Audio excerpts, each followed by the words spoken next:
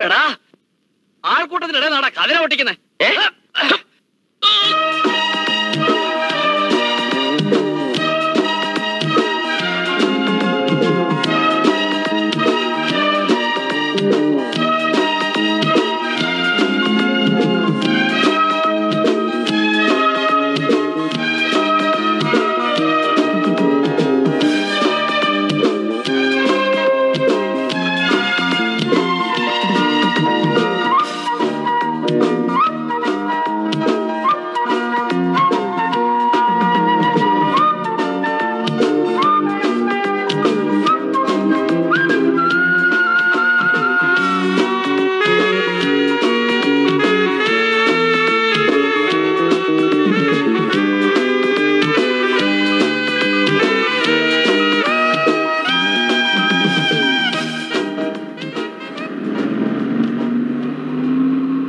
Autorickshaw എങ്ങോട്ടാ സാറേ? Gandhi park. Class പൊട്ടിയിരിക്കുന്നില്ല സാറേ. അതാണ് ഇപ്പോഴത്തെ ഫാഷൻ.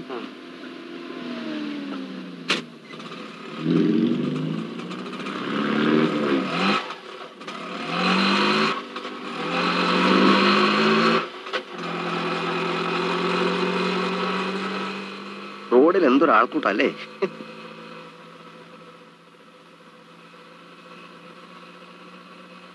നഗരത്തിന്റെ ഒരു വളർച്ചയെ ഇരുവശത്തും അമ്പരചുംബികളായ എന്തുമാത്രം കെട്ടിടങ്ങളാണ്. അല്ലേ?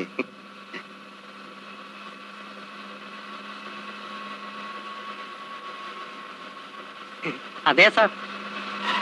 എന്താണോ? കണ്ടുകൂടെ? രാവിലെ വരും ഓരോന്ന്. വണ്ടിയുടെ കുറുകയാണ്.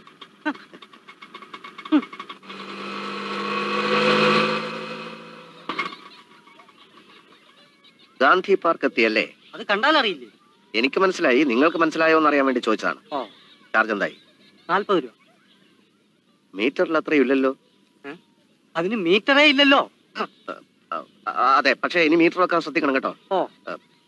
പത്ത് ഇരുപത് ഇതും ഇരുപതിന്റെ നോട്ടാണേ.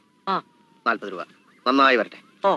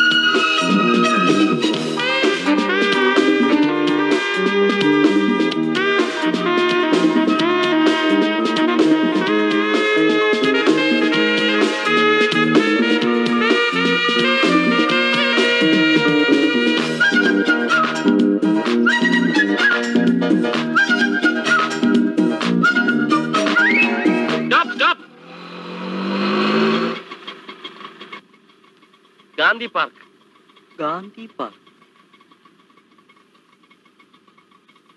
ഹലോ സാർ കയറിക്കോ.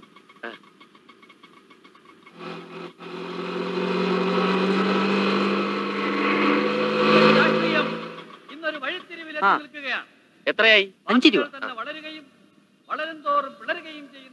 പോട്ടെ. പോരെ. അഞ്ചു രൂപയൊക്കെ മതി. അതിന് ഞാൻ കൂടുതലൊന്നും ചോദിച്ചില്ലല്ലോ.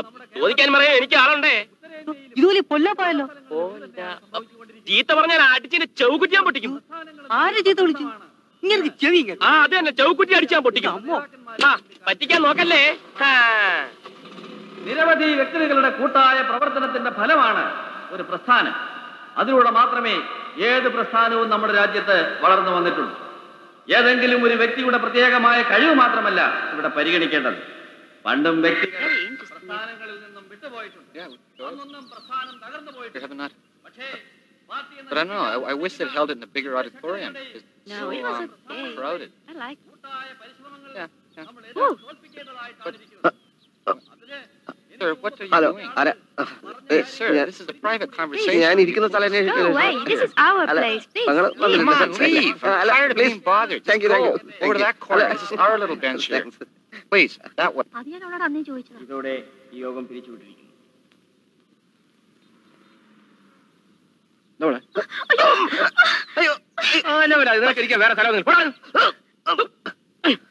അയ്യോ അയ്യോ ചേട്ടൻ. പാലനോ?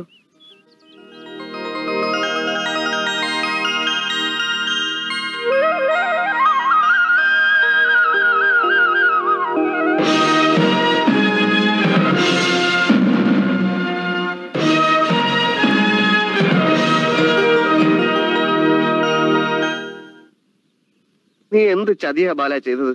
ഞാൻ എത്ര നേരം ബസ് സ്റ്റോപ്പിൽ കാത്തു നിന്നു? ചേട്ടൻ പിൻവാതിലിൽ കൂടി കൂളായിട്ട് കൂളായിട്ടങ്ങ് നടന്നുപോയി. ഞാൻ മുൻവശത്ത് വെച്ച് പിള്ളച്ചേട്ടനുമായിട്ട് അരമണിക്കൂർ യുദ്ധം ചെയ്തിട്ടാ രക്ഷപ്പെട്ടത്. പിന്നെ ബസ് സ്റ്റോപ്പിൽ വന്നപ്പോ ചേട്ടൻ അവിടെ ഇല്ല. അയ്യോ ഇതെങ്ങനെ നനഞ്ഞു? ഗാന്ധി പാർക്കാണെന്ന് കരുതി ഞാൻ നേരെ കടലിലേക്ക് ഇറങ്ങി. കടയിൽ ഇറങ്ങിയാൽ എങ്ങനെ നനയും? കടയിലല്ല കടലിൽ. ആ. ഒരു ഓട്ടോറിക്ഷക്കാരൻ പറ്റിച്ചതാ. അയ്യോ ഗ്ലാസും പൊട്ടിയല്ലോ. ഇന്ന് പൊതുവേ ഒരു നല്ല ദിവസമല്ല മൂന്ന് സ്ഥലത്തുനിന്ന് അടികിട്ടി അടി കിട്ടി. അത്രയല്ലേ കിട്ടിയുള്ളൂ? ഭാഗ്യമെന്ന് കരുതിയാ മതി. കണ്ണ് കാണാഞ്ഞ കണ്ണ് കാണാത്തവനെ പോലെ നടക്കാൻ പഠിക്കണം. ഇനിയെങ്കിലും എന്റെ കൺവട്ടത്തുനിന്ന് വിട്ടു പോകരുത്. അയ്യോ ഇനിയിപ്പോ ഇവിടെ ഇരിക്കാൻ സമയമില്ല. പിന്നെ എവിടെ ഇരിക്കും? സിനിമ തുടങ്ങി കാണും.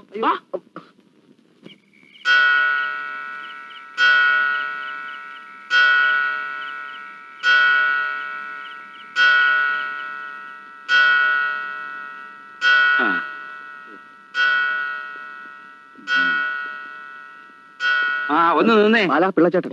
എന്തിനാ ഇത്ര നേരത്തേക്ക് പോന്നേ? പാതിരാകാൻ ഇനിയും സമയമുണ്ടല്ലോ. പാതിരിയോ? ഏത് പാതിരി? പാതിരിയല്ല പാതിര. ഞങ്ങളെ കറങ്ങി കറങ്ങി മടുത്തു. അതുകൊണ്ടാ ഇങ്ങ് പോന്നത്. ഏ ഇത് കണ്ടോ? കാലത്ത് നിന്റെ പുറകെ ഓടിയതാ. എന്റെ നട്ടലിൽ വിളിക്ക്. ഒടുക്കം ബെൽറ്റ് ഇട്ടു. വയസ്സും പ്രായവും നോക്കാതെ ഇങ്ങനെ പുറകെ ഓടരുതെന്ന് ഞാൻ എത്ര പ്രാവശ്യം പറഞ്ഞിട്ടുണ്ട് പിള്ളച്ചേട്ടാ. നിങ്ങൾ നോക്കാനും ശ്രദ്ധിക്കാനുമാ നിങ്ങളുടെ അച്ഛൻ എന്നെ ഇവിടെ നിർത്തിയിരിക്കുന്നത്. ഞങ്ങളെ ശ്രദ്ധിച്ചോ? പക്ഷെ പുറകെ ഓടരുത്. ഓ ഇത്തവണ ഇടിച്ചില്ല. ദൈവം കാത്തു. കാപ്പി ഇപ്പൊ വേണ്ട. വഴിന്ന് കുടിച്ചു. ആ. കാപ്പി. ഏ.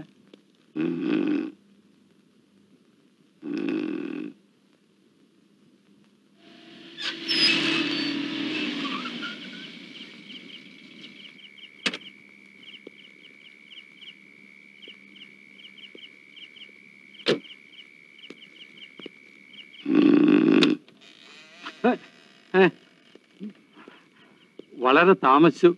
ആ മീറ്റിംഗ് കഴിഞ്ഞ് പാർട്ടി പാർട്ടി എന്ന് പറഞ്ഞാൽ കള്ളുകൂടി. അത് കഴിഞ്ഞുള്ള ഭക്ഷണം കഴിക്കാൻ. അതാ താമസിച്ചത് അപ്പോൾ ഭക്ഷണം കഴിച്ചു. കഴിച്ചു. കുട്ടികൾ ഉറങ്ങിയോ? നേരത്തെ കിടന്നു. ഇപ്പൊ ഉറങ്ങി കാണും. ഇന്ന് പുറത്തെങ്ങും പോയില്ലല്ലോ? ഇല്ല പോയില്ല. ഇവിടെ തന്നെ. മുറ്റത്തായിരുന്ന അധിക നേരവും.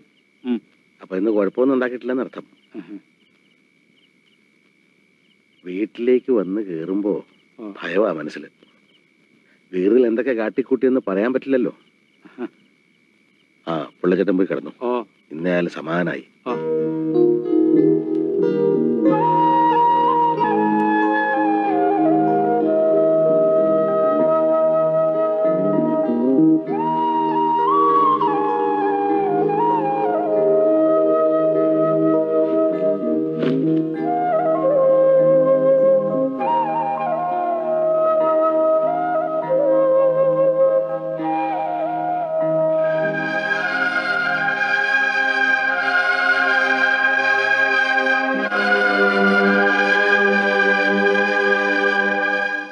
നാട്ടിലിറങ്ങി ഓരോ കുരുത്തക്കേട് കാണിക്കുമ്പോൾ നാട്ടുകാർ കണ്ണടത്തിന് സഹിക്കണമെന്നാണോ എനിക്കുണ്ടായ നഷ്ടത്തിന് പരിഹാരം കണ്ടേ പറ്റൂ.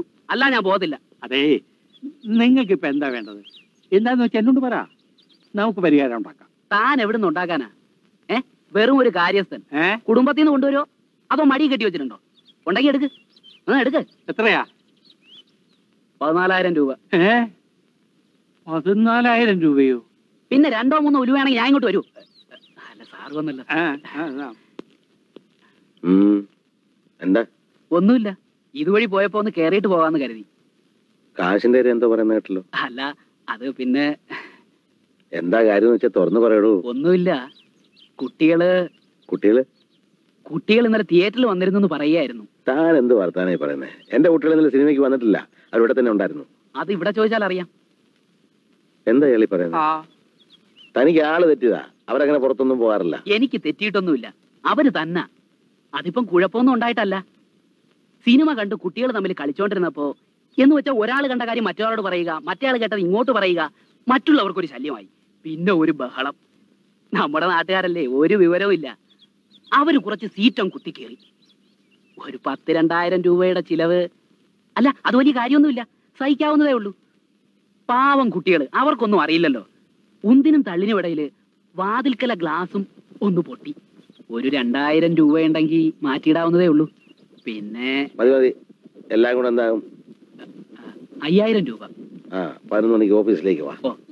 ശരി.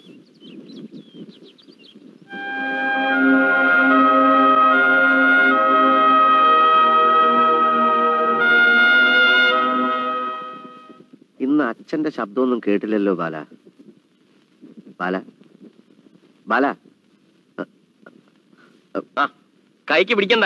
ആവശ്യത്തിന് ഇഡലി ഉണ്ട്. ആനാന്ന് പറയുമ്പോ ചേനാന്ന് കേൾക്കുന്ന ഇവനെ കൊണ്ട് തോറ്റു. അച്ഛൻ എവിടെയെന്നാ ചോദിച്ചത്? അച്ഛനും തികയും. എടാ കഴുതേ. എന്താ? അച്ഛൻ പോയോന്ന്. അച്ഛൻ പോയോന്ന്? അച്ഛൻ പോയിട്ടില്ല. ഇന്നലത്തെ സംഗതി വല്ലതും പിള്ളച്ചേട്ടൻ പറഞ്ഞു കാണുമോ ഏയ് അതിനുള്ള ധൈര്യമൊന്നും അയാൾക്ക് കാണത്തില്ല. ഇന്നലെ കടലിൽ ചാടിയപ്പോഴാണ് ഞാൻ ഓർമ്മിച്ചത്. ഇന്ന് നമുക്ക് ഒരു വള്ളത്തിൽ കയറണം. വെള്ളം അടിക്കാനോ? ശരി അടിക്കാം. വെള്ളമല്ല വള്ളം. ഓ വള്ളം. ആ അതിൽ കയറി നമുക്കൊന്ന് കടലിൽ പോണം. എന്തിനാ? ചാടി ചാവാനാണോ? ചാവാം പക്ഷെ അതിനു മുമ്പ് നിന്നെ ഞാൻ തട്ടും. ഇന്നലത്തെ പോലെ അച്ഛൻ പോയ ഉടനെ നമുക്ക് ഇവിടുന്ന് കടക്കാം. നേരെ കടപ്പുറത്തേക്ക്. എന്നിട്ട് വള്ളത്തിലോ ബോട്ടിലോ കയറി കുറേ നേരത്തേക്ക് ഒരു കടലയാത്ര. എങ്ങനെ? പിള്ളച്ചേട്ടന്റെ കണ്ണ് വെട്ടിക്കാനുള്ള ഒരു പദ്ധതി നീ ആലോചിച്ചാ മതി. അച്ഛൻ എന്താ നിൽക്കുന്നത്? ഇഡലി കഴിക്കൂ. അച്ഛ അച്ഛാ ഗുഡ് മോർണിംഗ്. മോർണിംഗ്. കടലിൽ കൂടെ എവിടം വരെ പോകും കുറച്ച് ദൂരം സഞ്ചരിക്കുകയാണെങ്കിൽ അങ്ങ് മിഡിൽ ഈസ്റ്റിലെത്താം ഗൾഫിൽ. അവിടം വരെ പോകുന്നോ? അച്ഛ അത് എപ്പോഴെങ്കിലും അച്ഛന്റെ കൂടെ ഒരു കടൽ യാത്ര അല്ലാതെ ഞങ്ങൾ ഒറ്റയ്ക്ക് എങ്ങനെ പോകാനാ? അല്ല ഇന്നലെ രണ്ടാളും പുറത്തു പോയെന്ന് പറഞ്ഞല്ലോ. അത് ഏത് അച്ഛന്റെ കൂടെയാ? ഞാനല്ല ചേട്ടനാ പോയത്. എടാ ബാല ചതിയാ. നിങ്ങളെ കൊണ്ട് ഞാൻ തോറ്റു. ഓഫീസിൽ ചെന്നാലും സ്വസ്ഥതയില്ല. ഓരോ ദിവസവും രണ്ടാളെ എന്തൊക്കെ ചെയ്തു കൂട്ടുന്നുള്ള ടെൻഷനാ. ഇപ്പൊ ഉള്ള സങ്കടത്തിന് പുറമെ നിങ്ങൾ എന്തിനാ എന്നെ ഇങ്ങനെ കഷ്ടപ്പെടുത്തുന്നത് അച്ഛ വീട്ടിൽ എത്ര നേരം ഇരിക്കും? ഇവിടുന്ന് ഇറങ്ങി പോരെന്ന് പറഞ്ഞ് അച്ഛൻ അങ്ങ് പോവും. പിന്നെ ഒരു ദിവസം തീരാൻ എത്ര മണിക്കൂറുണ്ട്? പിള്ളച്ചേട്ടന്റെ മുഖം എത്ര എന്ന് പറഞ്ഞ് കണ്ടോണ്ടിരിക്കും. പുറത്തിറങ്ങിയാൽ ആളുകളുടെ ശബ്ദം കേൾക്കാം വാഹനങ്ങളുടെ ഇരമ്പൽ കേൾക്കാം. പുതിയ പുതിയ സ്ഥലങ്ങൾ കാണാം പല പല കാഴ്ചകൾ കാണാം.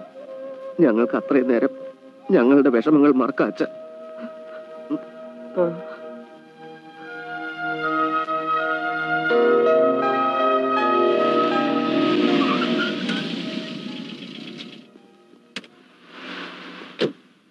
പറഞ്ഞൊക്കെ ഓർമ്മയുണ്ടല്ലോ? ഉച്ചയ്ക്ക് രണ്ട് മണി. അതിനിടയിൽ പാട്ട് കേൾക്കുകയോ ഐസ്ക്രീം കഴിക്കുകയോ എന്ത് വേണമെങ്കിലും ആകാം പാർക്ക് വിട്ട് പുറത്തു പോകാൻ പാടില്ല. രണ്ട് മണിക്ക് ഇതേ സ്ഥലത്ത് ഇതേ കാറ് വന്ന് നിന്ന് രണ്ട് പേര് ഇതേ ഷേപ്പിൽ ഇതേ സ്ഥലത്ത് ഹാജരായിരിക്കണം. അച്ഛൻ ധൈര്യമായിട്ട് പോകും ചേട്ടനെ നിയന്ത്രിക്കുന്ന കാര്യം ഞാൻ ഏറ്റു. ബാലിനെ ഞാൻ ഇറങ്ങാൻ സമ്മതിക്കില്ല അച്ഛാ. പരസ്പരം നിയന്ത്രിക്കണമെന്നില്ല. രണ്ടുപേർക്ക് സെൽഫ് കൺട്രോൾ ഉണ്ടായിരുന്നാൽ മതി. ശരി.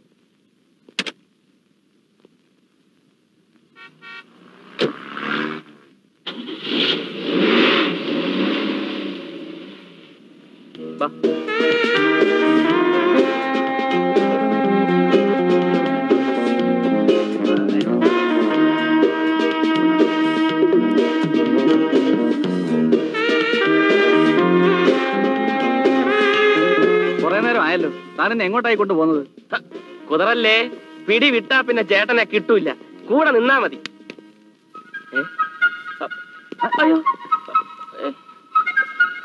ചേട്ടൻ എങ്ങനെ താനായി? ചേട്ടനോ? ഞാൻ നിന്റെ ചേട്ടനും.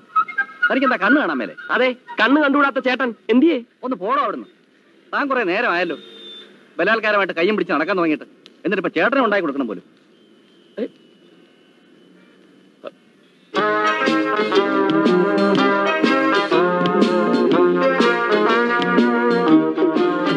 ഇങ്ങനെ ചുമ്മാ നടന്നിട്ട് ഒരു രസവുമില്ല. നമുക്ക് എവിടെയെങ്കിലും പോയി കുറച്ചേരം ഇരിക്കാം. ചേട്ടന്റെ ഇഷ്ടം. നീ എന്താ ശബ്ദം മാറ്റി സംസാരിക്കുന്നത്? ജലദോഷമാ ചേട്ടാ. ചിലപ്പോ തണുപ്പ് കൊണ്ടിട്ടാവും. കാലത്തൊന്നും അങ്ങനെ ഉണ്ടായിരുന്നില്ലല്ലോ. ഏതായാലും നീ വാ ഉച്ചവരെ സമയമുണ്ടല്ലോ. ജലദോഷമൊക്കെ നമുക്ക് മാറ്റാം. വഷള ഇതാണ് നീ ഏതാടി പട്ടാപ്പകൽ ആണുങ്ങളെ വല വീശാൻ നടക്കുന്നു. ഓ, ബാല അപ്പോ അത് നീയല്ലായിരുന്നു എന്നെ വെറും പൊട്ടനാക്കല്ലേ? ഇങ്ങോട്ട് ബാല ഞാൻ സത്യമായിട്ടും സത്യമായിട്ടും കൈമാറിപ്പോയത് ഞാൻ അറിഞ്ഞില്ല ബാല. ഞാൻ വിശ്വസിക്കില്ല. എനിക്കൊന്നേ പറയാനുള്ളൂ. കുടുംബത്തിന്റെ മാനം ചേട്ടൻ കളഞ്ഞു കുളിക്കരുത്. ഈശ്വര ഞാനിത് എന്ത് പറഞ്ഞു ഇവനെ മനസ്സിലാക്കും? ഇനി ഒന്നും പറയണ്ട. പെണ്ണിന്റെ മണമുള്ള ഒരു സ്ഥലത്തും ചേട്ടനെ നിർത്താൻ കൊള്ളത്തില്ല.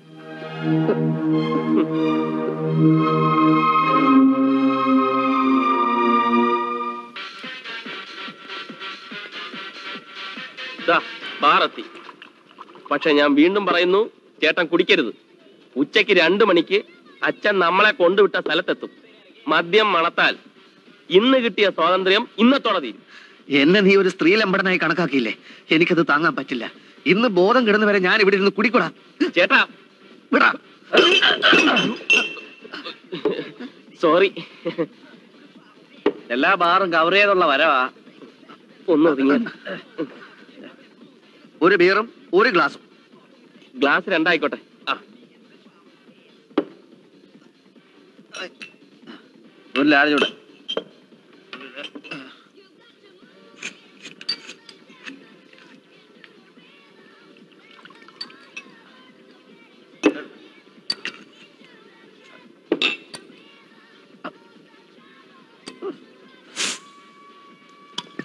ഒരു ഒന്നര കൂടെ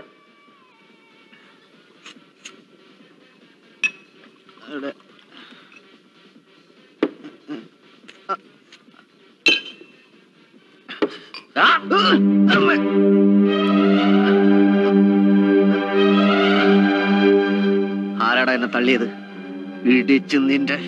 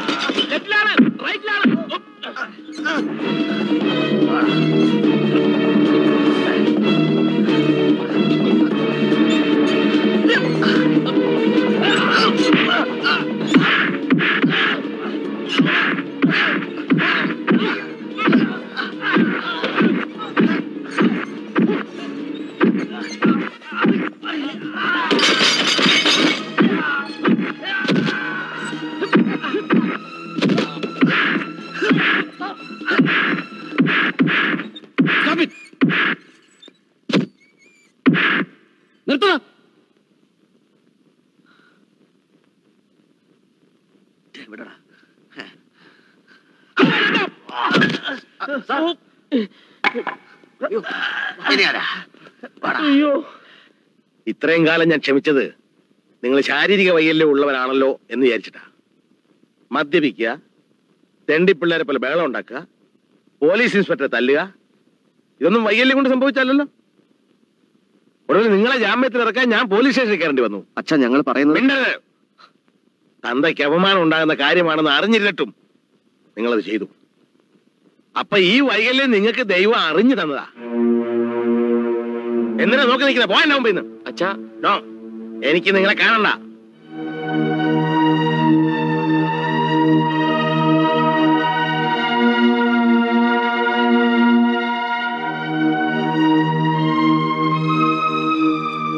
അല്പം കടന്നുപോയി. അറിയാം. പിന്നെ ഞാൻ എന്ത് ചെയ്യണം? ഞാൻ ആലോചിച്ചിട്ട് ഒരു വഴിയേ കാണുന്നുള്ളൂ. നമുക്കൊരാളെ വെച്ചാലോ കുട്ടികളെ നോക്കാൻ? അതൊന്നും ശരിയാവില്ല. പാറക്കാൻ പറ്റിയവരല്ലേ അവരെ അങ്ങനെ നിയന്ത്രിക്കാൻ പറ്റില്ല. നോക്കാൻ ഒരാളുണ്ടെങ്കിൽ അവരെ നേർവഴിക്ക് കൊണ്ടുവരാൻ കഴിയും. എനിക്കിവിടെ നൂറൂട്ടം കാര്യങ്ങളാ. അല്ലേ കുട്ടികളുടെ കാര്യം നോക്കി എപ്പോഴും അവരുടെ കൂടെ കഴിയാൻ എനിക്ക് സന്തോഷമേ ഉള്ളൂ. എന്റെ വകയിലെ ഒരു അനിയനുണ്ട് കുട്ടിയും കുടുംബമൊന്നും ഇല്ലാത്തവനാ. എന്ത് കാര്യം ഏൽപ്പിച്ചാലും ആത്മാർത്ഥമായി ചെയ്തോളൂ.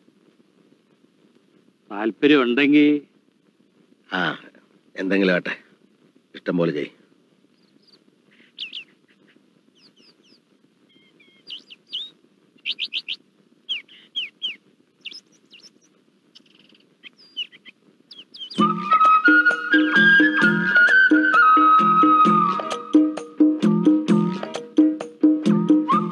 കാക്കിച്ചേട്ടാ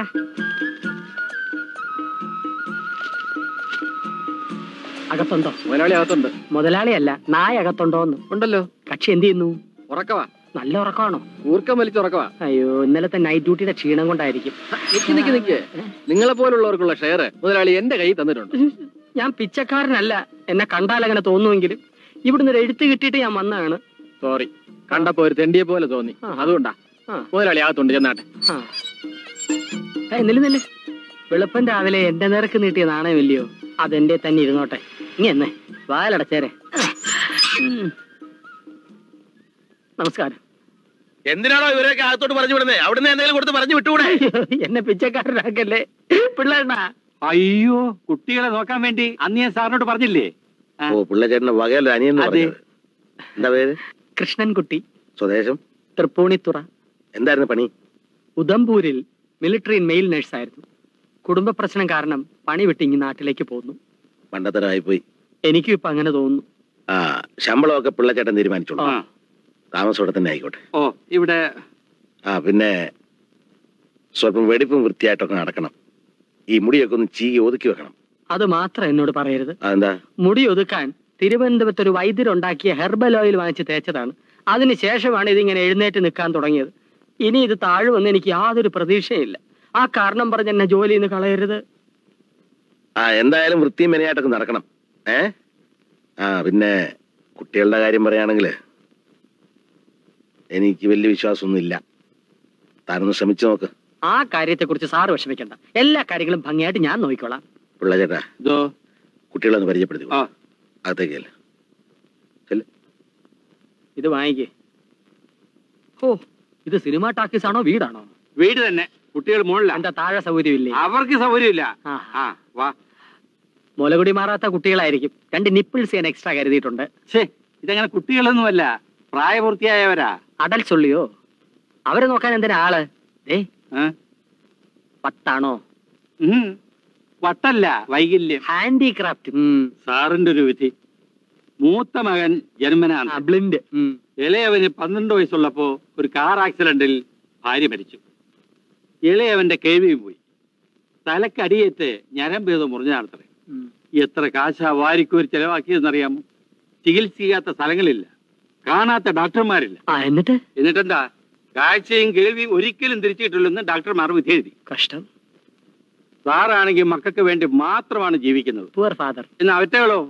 കണ്ണു തെറ്റിയാൽ വെളിയിൽ ചാടും. ബ്ലഡി ഫെലോസ് പാവം സാർ. എന്താ ചെയ്യാ? നാട്ടുകാരുടെ പരാതി കേൾക്കാനേ നേരമുള്ളൂ. ഇനിയിപ്പോ അവരെ നിയന്ത്രിക്കേണ്ടതും നേർവഴിക്ക് കൊണ്ടുപോകേണ്ടതും ഒക്കെ നീയാ. ഈ രണ്ട് കാര്യങ്ങളും ഞാൻ ഏറ്റു. നിയന്ത്രണവും നേർവഴിയും. ആ. ഒരാൾ. നമസ്കാരം. ഉണ്ണി ഞാനൊരു കൃഷ്ണൻകുട്ടിയുടെ കാര്യം പറഞ്ഞിരുന്നില്ലേ? നിങ്ങളുടെ സഹായത്തിന്. ആ, ആളാണിത്. ഇങ്ങനെ ചെവിക്കകത്ത് തലറിയിട്ടാണോ ഇയാൾ സഹായിക്കുന്നത്? ഓ ഇയാളാണ്. ഏതാളാണ്? ഒന്നുമില്ല. ക്ഷമിക്കണം. തെറ്റിദ്ധരിച്ചതാണ് ഞാൻ. ആ ഇതാണ് ബാലൻകുഞ്ഞ് ആ ശരി. ഒട്ടും കേട്ടൂടെ. പക്ഷേ പരിചയമുള്ളവരുടെ ചുണ്ടനക്കം കണ്ടാൽ ബാലൻകുഞ്ഞിന് ഒട്ടനെ മനസ്സിലാവും. ഓ ചെണ്ടക്കാരനാണല്ലേ? ഒട്ടും കേട്ടൂടാ. രണ്ട് കാര്യങ്ങൾക്കായിട്ടാണ് എന്നെ ഇവിടെ കൊണ്ടുവന്നിരിക്കുന്നത്. ഒന്ന് മൊത്തത്തിലുള്ള നിയന്ത്രണം. രണ്ട് നിങ്ങളെ നേർവഴിക്ക് നയിക്കുക. ഇത് രണ്ടും ഞാൻ ചെയ്യും. എന്തു പ്രതിബന്ധങ്ങൾ ഉണ്ടായാലും ശരി.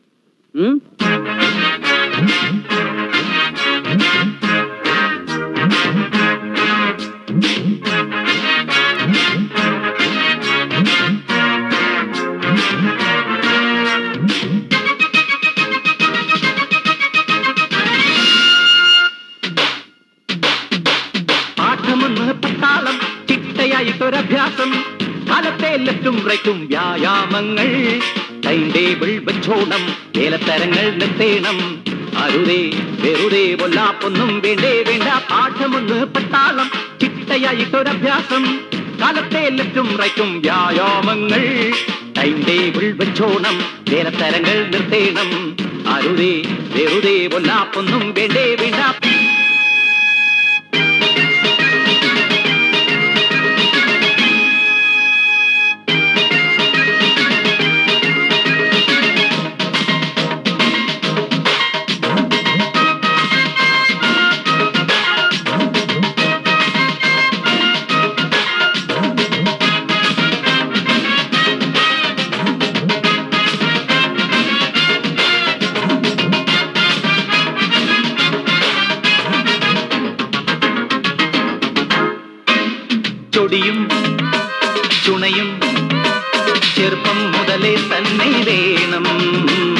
കൊടുക്കൽ വാങ്ങൽ അതിലും കണക്കും കണിച്ചോ വേണം.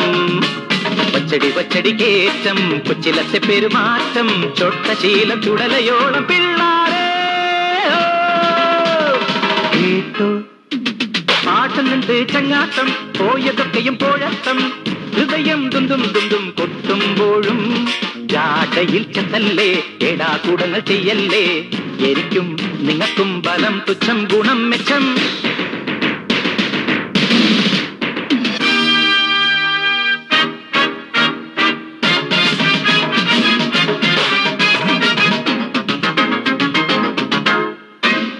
അടുക്കും മിടുക്കും മനുഷ്യൻ പിറക്കുമ്പോഴേ വേണം. അടിച്ചാൽ തിരിച്ചും കൊടുത്തോ അതിലും വിവരം വേണം. ഉച്ചക്കിറുക്കന്മാരായാൽ അച്ഛന്റെ ഗൗരവം പോകും. ഓർമ്മ വേണം ഒരുമ വേണം പിള്ളാരേ.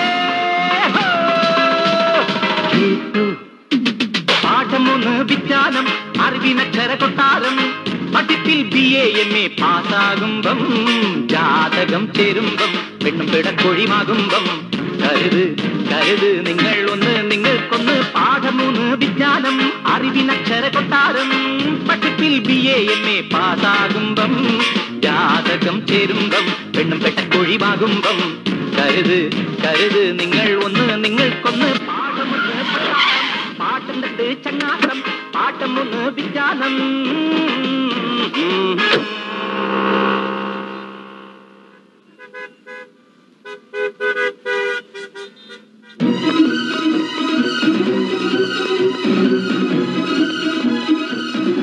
കൃഷ്ണൻകുട്ടി ഇവിടെ നിന്നോ?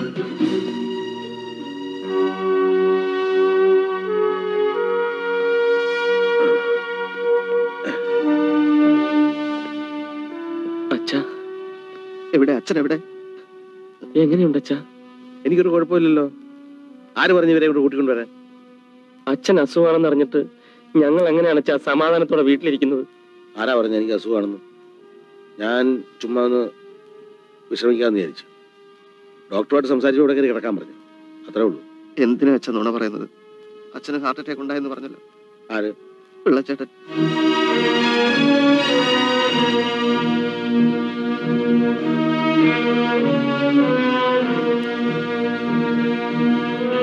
അച്ഛനല്ലാതെ വേറെ ആരാ ഞങ്ങൾക്കുള്ളത്? എന്റെ മക്കൾ വിഷമിക്കുന്നുണ്ടോ കേട്ടോ. അച്ഛനൊന്നും സംഭവിക്കില്ല.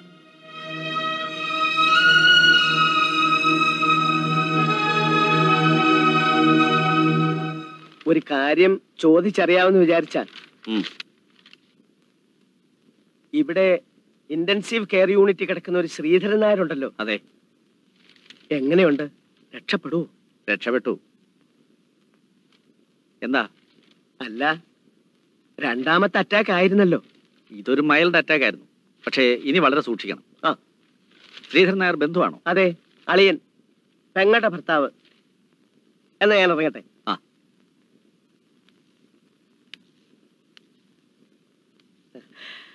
ഒന്നും ഉണ്ടായിട്ടല്ല. വെറുതെ അറിയാൻ വേണ്ടിയാ. രണ്ടാമത്തെ അറ്റാക്ക് കഴിഞ്ഞാൽ മൂന്നാമത്തെ അറ്റാക്ക് ഉണ്ടാവാൻ സാധാരണ എത്ര സമയം വേണ്ടി വരും? അതിനങ്ങനെ പ്രത്യേകിച്ച് സമയമൊന്നും വേണ്ട. എപ്പോ വേണമെങ്കിലും ഉണ്ടാവാം. ചിലർക്ക് വളരെ സന്തോഷം. വരട്ടെ. ഇന്നലെ രാത്രി തീരെ ഉറങ്ങാൻ കഴിഞ്ഞില്ല. എനിക്ക് തോന്നി തിരിഞ്ഞും പറഞ്ഞും കിടക്കുന്നത് കണ്ടു. ഇടയ്ക്കൊന്ന് മയങ്ങിയപ്പോ ദുസ്വപ്നോ എന്റെ കുഞ്ഞുങ്ങൾ നിലയിലാ വെള്ളത്തിൽ മുങ്ങിത്താഴുന്ന പോലെ. പിന്നീട് വെള്ളത്തിന്റെ നിറം അങ്ങ് മാറി ചോപ്പ് ചോര പോലെ. അവരതി കിടന്ന് മുങ്ങിത്താഴുന്നു എവിടെയോ ഒരു ചതി ഒളിഞ്ഞിരിപ്പുണ്ട്. അതിര് കടന്ന് ചിന്തിക്കുന്നത് കൊണ്ടാ. അതല്ല. ആ സ്വപ്നം സൂചിപ്പിക്കുന്നത് എന്റെ മരണത്തെയാ. അങ്ങനെ സംഭവിച്ച എന്റെ കുഞ്ഞുങ്ങൾക്ക് ആരുണ്ട്? അവരുടെ ജീവിതത്തിന് ഒരുറപ്പും രക്ഷയൊക്കെ വേണ്ടേ? വേണം. ഉണ്ണിയെ കൊണ്ട് ഒരു വിവാഹം കഴിപ്പിച്ചാലോ? വിവാഹം കഴിപ്പിക്കാന്നൊക്കെ പറഞ്ഞാൽ വരുന്ന പെൺകുട്ടി മിടുക്കിയാണെങ്കിൽ എന്റെ കുട്ടികളെ അവൾ നോക്കിയോളും ഞാനില്ലെങ്കിലും ബിസിനസ്സും കാര്യങ്ങളൊക്കെ നോക്കി നടത്തുകയും ചെയ്തോളും. അങ്ങനെയാണ് തീരുമാനമെങ്കിൽ നമുക്ക് ആലോചിക്കാം. ശനിയാഴ്ച എന്നെ ഡിസ്ചാർജ് ചെയ്യും. അപ്പോൾ ഞായറാഴ്ച വീട്ടിലൊരു പാർട്ടി അറേഞ്ച് ചെയ്യണം. എന്താ വിശേഷം? പറയാം. പിന്നെ കുട്ടികൾക്കൊരു ചേഞ്ചും ആവുമല്ലോ. ഇതെന്റെ മൂത്ത മകൻ ഉണ്ണി ഇളയവൻ ബാലൻ. ഇത് അച്ഛന്റെ ഏറ്റവും അടുത്ത സുഹൃത്തുക്കളാ. ഇത് ഭാസ്കര മേനോൻ ഇത് നാരായണൻകുട്ടി ഇത് മിസ്സസ് ഭാസ്കര മേനോൻ ഹലോ താര മൂത്ത മകൾ രശ്മി ഇളയ മകൾ. നാരായണൻകുട്ടിയുടെ ഭാര്യയും മക്കളും അങ്ങ് നാട്ടിൽ പോയിരിക്കാം. അപ്പൊ ഇനി കുട്ടികളൊക്കെ ഇവിടെ ഇരിക്കട്ടെ. നമ്മുടെ സ്ഥലം ദാ അവിടെയാണ്?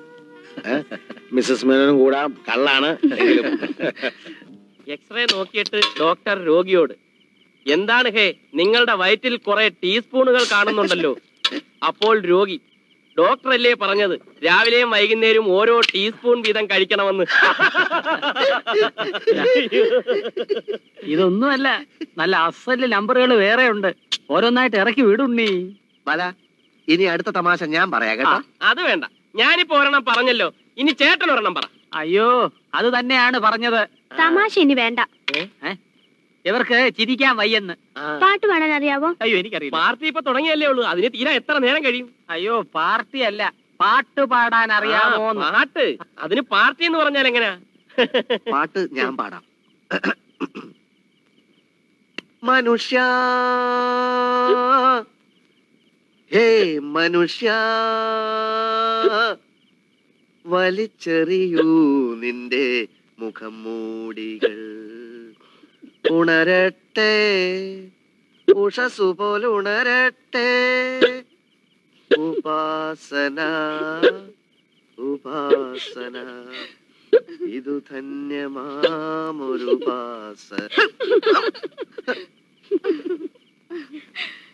ഇതിന്റെ പേരും പാട്ടെന്നാണോ? ഇനി ഞാൻ പാടാം. വേണ്ട ഇനി ആരും പാടണ്ട. അങ്ങനെ ആക്ഷേപിക്കാൻ മാത്രം അത്രയും മോശമായിട്ടൊന്നുമല്ല ഞാൻ പാടിയത്. കൃഷ്ണൻകുട്ടി? ഞാൻ പാടുന്നില്ല. അതല്ല. നമുക്ക് മുറിയിലേക്ക് പോവാം. വരും. വാസ്തവത്തിൽ ഇങ്ങനെ ഒരു ഗെറ്റ് ടുഗദർ ആകാമെന്ന് വെച്ച് തന്നെ പ്രധാനപ്പെട്ട ഒരു കാര്യം നിങ്ങളോട് സംസാരിക്കാനാണ്. മനസ്സിലായി. ഞങ്ങൾ ഒരു പ്രപ്പോസലിനെ കുറിച്ച് സാറിനോട് ആലോചിക്കാനിരിക്കുകയായിരുന്നു. അതെ അതെ. കണ്ടോ? ഇതാണ് മനസ്സിന്റെ അടുപ്പം എന്ന് പറയുന്നത്. ശരിയാ. അപ്പൊ പിന്നെ കമ്മ്യൂണിക്കേഷൻ ഗ്യാപ്പിന്റെ പ്രശ്നം ഉദിക്കുന്നില്ല. നമുക്ക് എന്ന് നടത്താമെന്ന് തീരുമാനിക്കാം. എന്താ ഉണ്ണിയെയും ബാലിനെയും കുറിച്ച് നിങ്ങൾക്ക് നന്നായിട്ട് അറിയാമല്ലോ പരസ്പരം അടുത്തറിയുന്നവരാകുമ്പോ കൂടുതൽ ആലോചിച്ച് സമയം കളയണ്ട. സാർ ഉദ്ദേശിക്കുന്നത് വ്യക്തമായില്ല.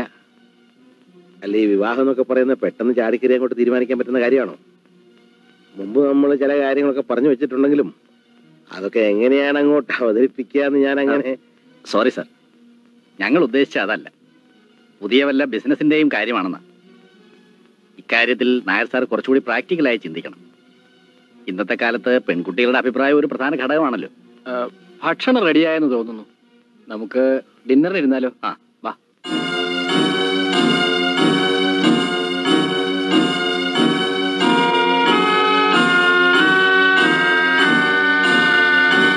നേരെ ഒരുപാടായി.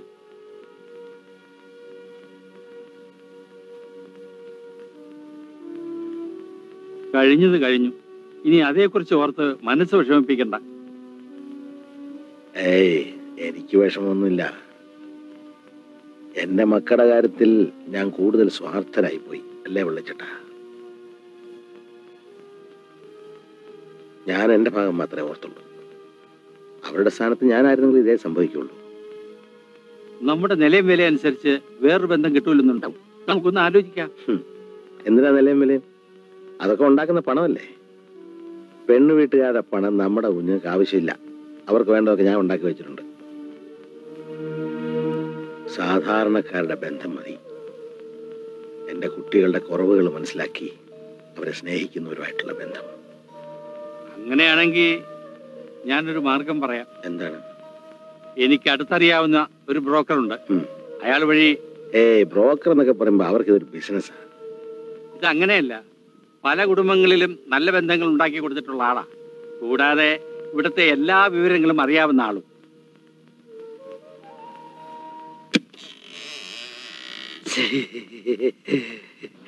ആരാ? ഇവിടെ ആണുങ്ങൾ ആരുമില്ലേ? ഇല്ല. എന്താ? ആ പറയാം. ആണുങ്ങളില്ലാത്തടത്ത് ആണിനെയും പെണ്ണുങ്ങളില്ലാത്തടത്ത് പെണ്ണിനെയും ഉണ്ടാക്കി കൊടുക്കലാണ് എന്റെ ജോലി. ആ ജോലി ഇവിടെ വേണ്ട. അതിപ്പോ ആ പറഞ്ഞതിന് ഒരു മണിക്കൂർ മുമ്പേ എത്തിയല്ലോ. എന്തൊരു കൃത്യനിഷ്ഠ. അല്ല ഞാൻ ഫോൺ കിട്ടി ഉടനെ പുറപ്പെട്ടു. ഞാനാണ് ഫോൺ ചെയ്തത്. നമ്മളാരാ? കൃഷ്ണൻകുട്ടി തൃപ്പൂണിത്തുറ. എന്താ കാര്യം? അത് സംഗതി സീക്രട്ട് ആണ്. എന്ത് സീക്രട്ട് ഇതൊക്കെ നാട്ടടുപ്പുള്ള കാര്യല്ലേ പതുക്കെ പറ. ഇയാൾ എന്തിനാ ഒച്ച എടുക്കുന്നേ? അതെ ഒച്ച വെച്ചാലേ തൊള്ള തുറക്കൂ. അതുകൊണ്ടാ ഒച്ച വെക്കുന്നത് വാലടച്ചേക്ക് ഇയാൾ ഒന്ന് മേളിലോട്ട് പോവാ. ഇയാൾ കൈ വിട്ട് കാര്യം പറഞ്ഞ രഹസ്യമായ ഏർപ്പാടാണ്. എന്നാ നമുക്ക് റേസ് ചെയ്യാം. ആരും അറിയില്ല. അതെ രഹസ്യമായി തന്നെ ഇരിക്കണം. പറ്റിയ ആൾ കയ്യിലുണ്ട്. എന്തുകൊണ്ടും നല്ലതാ. ഇനി വേറെ ആരും വേണ്ട. നിങ്ങൾ തന്നെ മതി. അല്ല ഞാനോ? എന്തിന് ഇവിടുത്തെ രണ്ട് കുട്ടികളെ പാട്ട് പഠിപ്പിക്കാൻ? പാട്ടോ? പാട്ട് സംഗീതം എന്നൊക്കെ പറഞ്ഞ എന്താ? സംഗീതം ഞാനായിട്ട് ഒരു ബന്ധുവില്ല അയ്യോ എന്തൊരു എളിമ. എന്തൊരു വിനയം. വലിയ വലിയ കലാകാരന്മാർക്ക് ഇങ്ങനെ തന്നെ. അല്ല ഞാൻ പറ്റില്ല എന്ന് മാത്രം പറയരുത്. ഇതൊരു വാശിയുടെ പ്രശ്നമാണ്. വിധിയുടെ ബലിയാടുകളായ കണ്ണും കാതും ഇല്ലാത്ത രണ്ട് പാവപ്പെട്ട കുട്ടികളുടെ അവസാനത്തെ ആശയാണ്. മറുത്തു പറയരുത്. കേവലം മൂന്ന് പാട്ടുകൾ മൂന്ന് ദിവസം കൊണ്ട് പഠിപ്പിച്ചു കൊടുക്കണം. മൂവായിരം രൂപ ഞാൻ പ്രതിഫലം മേടിച്ചു തരാം. തൃപ്പൂണിത്തുറ കൃഷ്ണൻകുട്ടിയാണ് പറയുന്നത്. മൂവായിരം രൂപ ഞാൻ മേടിച്ചു തരാം. ഇനി പറ്റില്ല എന്ന് പറയല്ലേ. സംഗീതത്തിന്റെ അവതാരമാണങ്ങ്.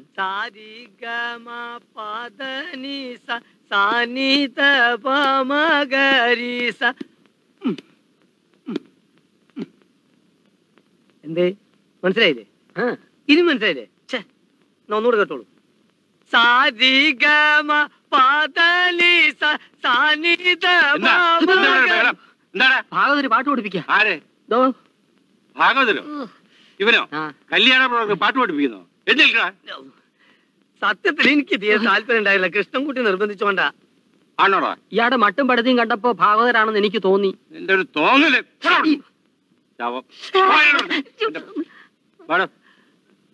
കൊറേ കാലായില്ലേ? സംഗീതമായിട്ടുള്ള ടച്ച് വിട്ടുപോയി. തന്നെ ഏൽപ്പിച്ച കാര്യം എന്തായി? അത് റെഡിയല്ലേ? ദേ നമ്മളൊരു കാര്യം ഏൽപ്പിച്ച അത് നടന്നിരിക്കും. ധാരാളം കുട്ടികൾ എന്റെ കയ്യിലുണ്ട്. ഏത് ജാതി വേണമെന്ന് വെച്ചാൽ അത്. നല്ല കുടുംബവും കുട്ടി സൽസ്വഭാവിയായിരിക്കണം. അത് നിർബന്ധം. അങ്ങനെ അല്ലാത്തതിന് ഞാൻ ഈ വീട്ടിലേക്ക് കൊണ്ടുവരുമോ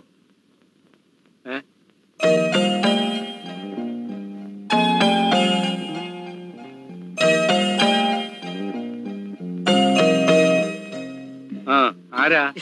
എന്താ? അക്കാഡമിന്ന് അയച്ചതാ പാട്ട് പഠിപ്പിക്കാൻ. പാട്ടോ? ഇവിടെ ആർക്കും പാട്ടും കൂത്തൊന്നും പഠിക്കണ്ട. കൂത്ത് എനിക്കറിയില്ല.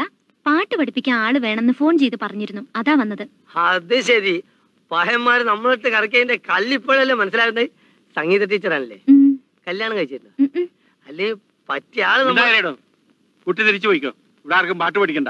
വിളിച്ചു വരുത്തിയിട്ട് വേണ്ടെന്ന് പറഞ്ഞയക്കുന്നത് ശരിയല്ല. ശരിയും തെറ്റൊന്നും കുട്ടി നോക്കണ്ട. സമയം കളയാതെ പോയിക്കോ. അങ്ങനെ പറഞ്ഞാൽ എങ്ങനെയാ ഞങ്ങൾക്ക് അല്പം തിരക്കുണ്ട്. ആർക്കാ തിരക്കില്ലാത്തത്?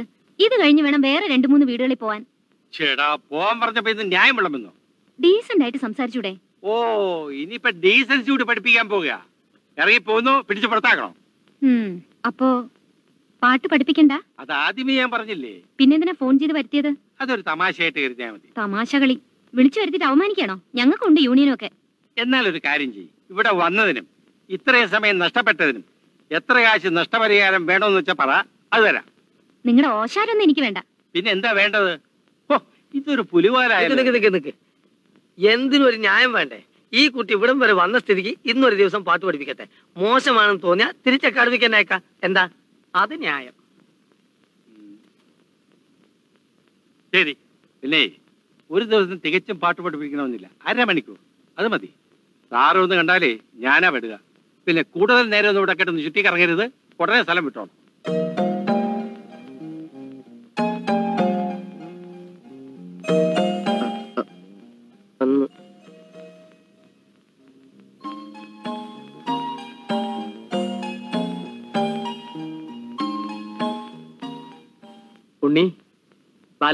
ടീച്ചർ എത്തി ഈശ്വരനെ മനസ്സിൽ ധ്യാനിച്ചോളൂ. ഈ പാട്ട് പഠിത്തത്തിലൂടെ എല്ലാ കുറവും തീരും. ടീച്ചർ പാടാൻ തുടങ്ങുമ്പോ മതി ഈ ശ്രദ്ധ. ടീച്ചർക്ക് ജോലി അത്ര എളുപ്പമാവില്ല. ഈ ബാലന് കാത് കേൾക്കില്ല.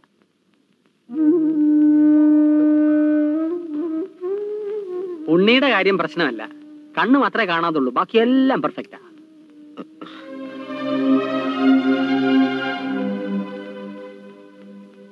എങ്കിൽ പിന്നെ കൃഷ്ണൻകുട്ടി പൊയ്ക്കുള്ളൂ. ഇനിയുള്ള. കാര്യങ്ങൾ ഞങ്ങൾ നോക്കിക്കൊള്ളാം. അല്ല ഞാനിവിടെ മൂപ്പൻ ഞങ്ങളുടെ ബന്ധുവൊന്നുമല്ല. ഇവിടുത്തെ സർവന്റാ. പോയിക്കോളൂ പോയി കുടിക്കാൻ എന്തെങ്കിലും എടുത്തോണ്ട് വരൂ.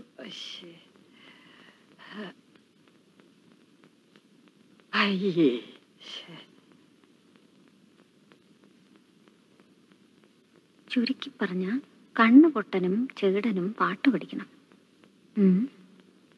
എന്തെങ്കിലും ആവട്ടെ ഇരിക്കുന്ന കണ്ടില്ലേ രണ്ടെണ്ണം? തുടങ്ങാം. തുടങ്ങ.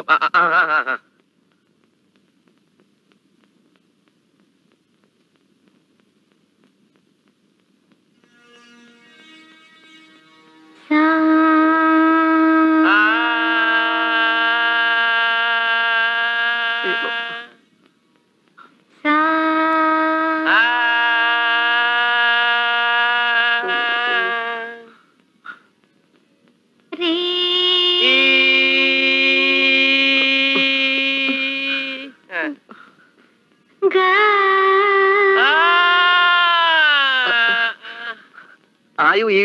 ആദ്യം നീ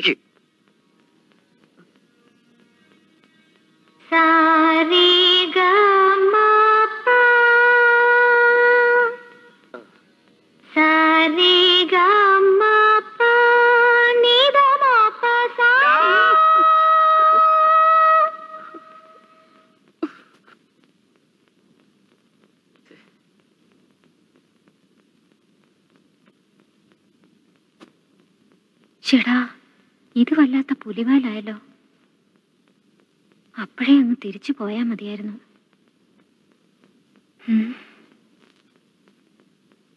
എന്തായാലും വരുന്നിടത്ത് വെച്ച് കാണാം.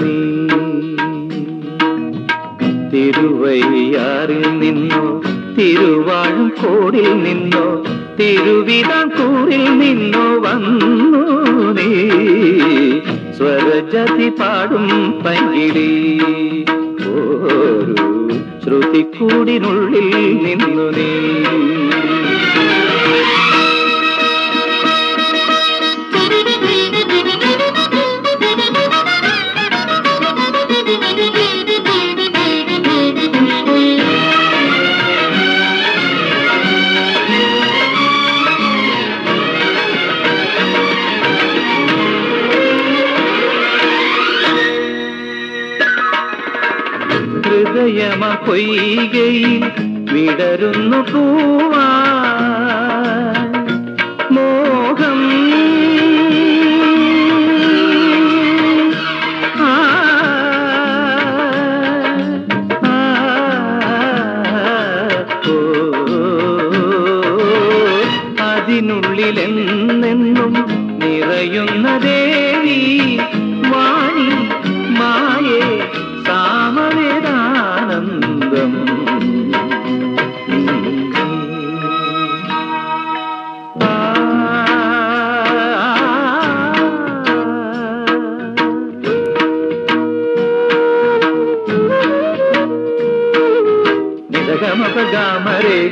సారి నిజగమప సని దాని పాద మాప గమ సాస సాస సస సాస సాస సస గగరి సని ద పసాని ద పమ్మ గారి మాగ పామ నీ ద మమ ని ద సా ആ, സ്വരജതി പാടും പൈകിളി ഓ ശ്രുതി കൂടിനുള്ളിൽ നിന്നു നീ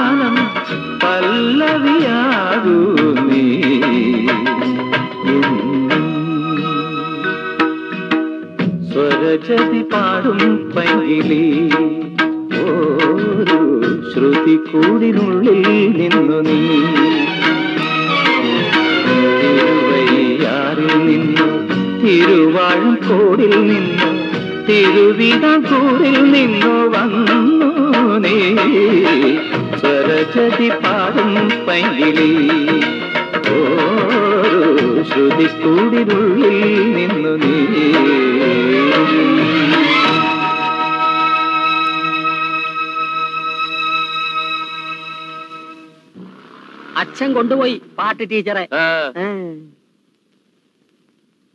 ഗീത പാട്ട് പഠിപ്പിക്കാൻ വരാൻ തുടങ്ങിയത് മുതൽ എന്റെ വീട്ടിലൊരു ഉണർവും ഉന്മേഷവും കുട്ടികൾക്കാണെങ്കിൽ പാട്ടും കൂത്തും ബഹളവും സത്യത്തിൽ ഇപ്പോഴാ അതൊരു വീടായത്. രാഘവൻ നായർ ഭാഗ്യവാനാ. മനസ്സിലായില്ലല്ലേ? കലാവാസനയുള്ള ഒരു കുട്ടി വീട്ടിലുണ്ടാകുക എന്ന് പറയുന്നത് ഒരു ഐശ്വര്യമാണ് എന്റെ രണ്ട് കുട്ടികൾ. അവരുടെ കാര്യം അറിയായിരിക്കുമല്ലോ. എല്ലാം മോൾ പറഞ്ഞിട്ടുണ്ട്. ദൈവം എല്ലാ സൗഭാഗ്യങ്ങളും ഒന്നിച്ചു തരാറില്ലല്ലോ. ശരിയാ. പക്ഷെ മനുഷ്യൻ മനസ്സ് വെച്ചാൽ ഇതൊക്കെ പരിഹരിക്കാവുന്നേ ഉള്ളൂ. അതുകൊണ്ടായിരിക്കണമല്ലോ എന്റെ വീട്ടിൽ പാട്ട് പഠിപ്പിക്കാൻ ഗീത വരാനിടയായത് അവളിപ്പോ എന്റെ കുട്ടികളെ പാട്ട് പഠിപ്പിക്കാൻ വന്ന ഒരു ടീച്ചർ മാത്രമാണ്. അതുപോരാ. അവൾ എന്റെ വീട്ടിലെ ഒരു അംഗമാകണമെന്ന് എനിക്ക് ആഗ്രഹമുണ്ട്. എന്താണ് ഉദ്ദേശിക്കുന്നതെന്ന് മനസ്സിലാകുന്നില്ല. അതായത് ഗീത എന്റെ മൂത്ത മരുമോളാകണമെന്ന് ഞാൻ ആഗ്രഹിക്കുന്നു.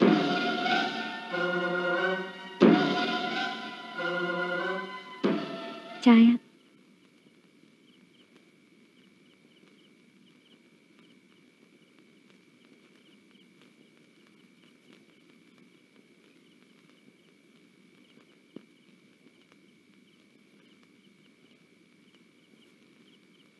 നടക്കില്ല എന്ന് അച്ഛൻ അപ്പ തന്നെ പറയായിരുന്നില്ലേ മുഖത്ത് വന്നു കയറിയ മഹാലക്ഷ്മിയെ തൂത്തെറിയണോ മോളെ? ഇവിടുത്തെ സ്ഥിതി നിനക്കറിഞ്ഞുകൂടെ നീ ഒന്ന് ആലോചിച്ചു നോക്ക്. വലിയ കാശുകാരാ അവരെ. നമ്മുടെ എല്ലാ പ്രശ്നങ്ങളും ഇതോടെ തീരും. അതിനുവേണ്ടി ഞാനൊരു കണ്ണു പൊട്ടനെ കല്യാണം കഴിക്കണമെന്നാണോ? അയ്യോ പതുക്കെ പറ. കണ്ണുപൊട്ടനെ നീ ഇഷ്ടപ്പെട്ടില്ലെങ്കിൽ വേണ്ട. അവരുടെ സ്വത്ത് പണം അത് ഇഷ്ടപ്പെടാമല്ലോ. അച്ഛൻ മടിയാണെങ്കിൽ ഞാൻ ചെന്ന് പറയാം. വേണ്ട.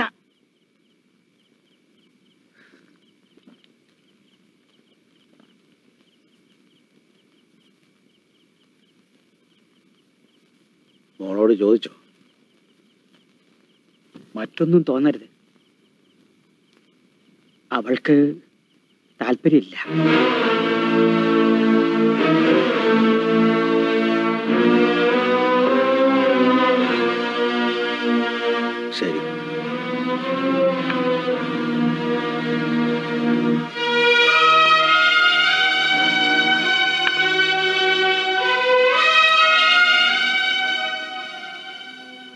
ആവേശം കൊണ്ട് ഞാൻ പറഞ്ഞാണെന്ന് വിചാരിച്ചാൽ മതി.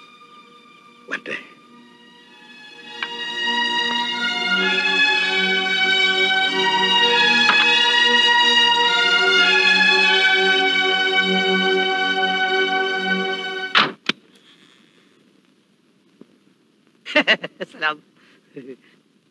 നമസ്കാരം. നമ്മൾ മനസ്സിലായില്ലേ? പിള്ളച്ചേട്ടൻ പറഞ്ഞില്ലേ? ബ്രോക്കർ ഹംസാന്ന് ഞാൻ ഈ ഒരു കാര്യത്തിന് വേണ്ടി ഊര് മുഴുവൻ ചുറ്റി. അവസാനം എങ്ങനെയെങ്കിലും ഒപ്പിച്ചു. നല്ല ആൾക്കാരാ. പൈസ കൊണ്ട് നമ്മൾ അത്ര തന്നെ പോയില്ലെങ്കിലും ഒന്നാം നമ്പർ തറവാട്ടേരാ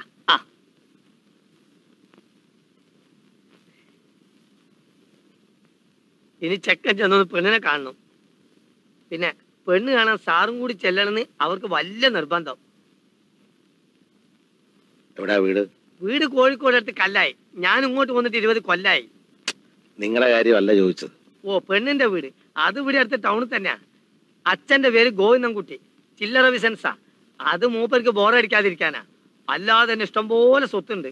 അമ്മയുടെ തറവാട് മോശമല്ല. പിന്നെ അവർ കാണും പെണ്ണുമായിട്ട് ഈ ഒരു മകൾ മാത്രമേ ഉള്ളൂ. നമ്മുടെ കാര്യങ്ങളൊക്കെ പറഞ്ഞോ? സാറിന്റെ കാര്യം എന്ത് പറയാൻ? ഞാൻ പറഞ്ഞിട്ട് വേണം അവരറിയാൻ? എന്റെ കാര്യോ? പിന്നെ? ഓ നമ്മളെ കുട്ടിന്റെ കാര്യം. അതും ഞാൻ അവരോട് വിശദമായിട്ട് പറഞ്ഞിട്ടുണ്ട്. കാഴ്ചയില്ലാത്ത ആളാണെന്നുള്ള കാര്യം പറഞ്ഞിട്ടുണ്ടല്ലോ. അതെ ഞാൻ ഉദ്ദേശിച്ച രണ്ടാമത്തെ ആൾക്കാ. അതിപ്പോ അങ്ങനെ അത് വേണ്ട. മൂത്താളിരിക്കുമ്പോ. അതിനവര് പെൺകുട്ടികളൊന്നും അല്ലല്ലോ എന്നാലും അത് ശരിയാവില്ല. ഉണ്ണിയുടെ മനസ്സിന് പ്രയാസം ഉണ്ടാവും എന്നാ ഒരു കാര്യം ചെയ്യാം. കല്യാണം നടത്തണ്ട. നമുക്ക് കണ്ടുറപ്പിച്ച് വെക്കാം. മൂത്താക്കും ഞാനൊന്ന് നോക്കുന്നുണ്ട്. ഉടനെ ശരിയാവും. അത് കഴിഞ്ഞിട്ട് ഇത് നടത്തിയാൽ മതി. പഠിക്കുന്ന കുട്ടിയായതുകൊണ്ട് ചിലപ്പോൾ പഠിപ്പ് കഴിഞ്ഞിട്ട് മതി എന്ന് പറയാനും വഴിയുണ്ട്. അതും നമുക്ക് ഗുണ. നല്ല ആളുകളായതുകൊണ്ടാണ് ഞാൻ ഇതിന് നിർബന്ധിക്കുന്നത് ഇനിയിപ്പോ ഈ കല്യാണം നടന്നില്ലെങ്കിൽ പോലും ഇങ്ങനെ ഒരു ആലോചന വന്നു എന്ന് പറയുന്നത് തന്നെ നമുക്കൊരു അന്തസ്സ അല്ലേ സുശീലേ? ഒറ്റ സന്തതി ആയതുകൊണ്ട് കുറച്ച് കൂടുതൽ ലാളിച്ചിട്ടുണ്ട്. അതിന്റെ കൊഞ്ചലും വാശിയും ഒക്കെ സ്വഭാവത്തിലുണ്ടാവും. അതും ഒരു ഐശ്വര്യമല്ലേ പെൺകുട്ടികൾക്ക്? നിങ്ങൾ രണ്ടുപേരും ഇങ്ങനെ സംസാരിച്ചിരുന്നാലോ? കുട്ടിയെ വിളിക്കൂ. മോളെ വിളിക്കേ. വേറൊന്നും വേറെ ഒന്നും വിചാരിക്കരുത്. പറയുമ്പോ എല്ലാം പറയണമല്ലോ. എനിക്കുള്ളതെല്ലാം മാക്കുള്ളതാ കൂടുതലൊന്നും അവിടുന്ന് ആവശ്യപ്പെടില്ലെന്ന് എനിക്കറിയാം. ഞാനൊരു ബിസിനസ്സുകാരനാണ്. പക്ഷെ എന്റെ മകന്റെ വിവാഹം ഒരു ബിസിനസ് ആക്കാൻ ഞാൻ ആഗ്രഹിക്കുന്നില്ല.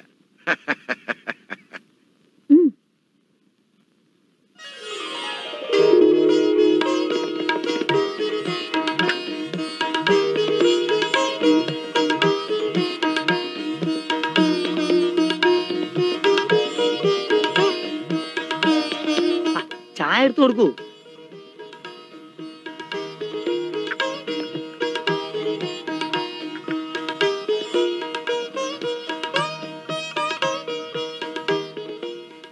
എന്താ പേര്? അഞ്ജലി. ഞങ്ങൾ അഞ്ജുന്ന് വിളിക്കും. എന്തിനു പഠിക്കുന്നു? Degree final year. നമുക്ക് അല്പസമയം അപ്പുറത്തേക്ക് ഇരിക്കാം. അവർക്ക് എന്തെങ്കിലും സംസാരിക്കാനുണ്ടെങ്കിൽ അല്ല അത് വേണം. വേണം. എല്ലാം പരസ്പരം അറിഞ്ഞിരിക്കുന്നത് നല്ലതല്ലേ? ആ ബാലൻ എവിടെ ഇരിക്കേ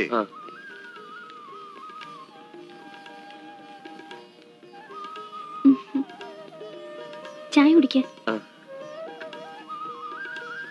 ചൂട് കൂടുതലാണോ? നല്ല കടുപ്പമുണ്ട്. എന്തെങ്കിലും ചോദിക്കാനുണ്ടോ? ഊണൊക്കെ വീട്ടിൽ ചെന്നിട്ട് കഴിക്കാം. ചേട്ടൻ ഇവിടെ ഒറ്റയ്ക്കാ. എന്താ പേര്? അഞ്ജലി. കൂടുതലായോ മധുരം? മധുരിമ നല്ല പേര്. മധുരിമ ഉണ്ടാക്കിയ കാപ്പിക്ക് നല്ല മധുരം.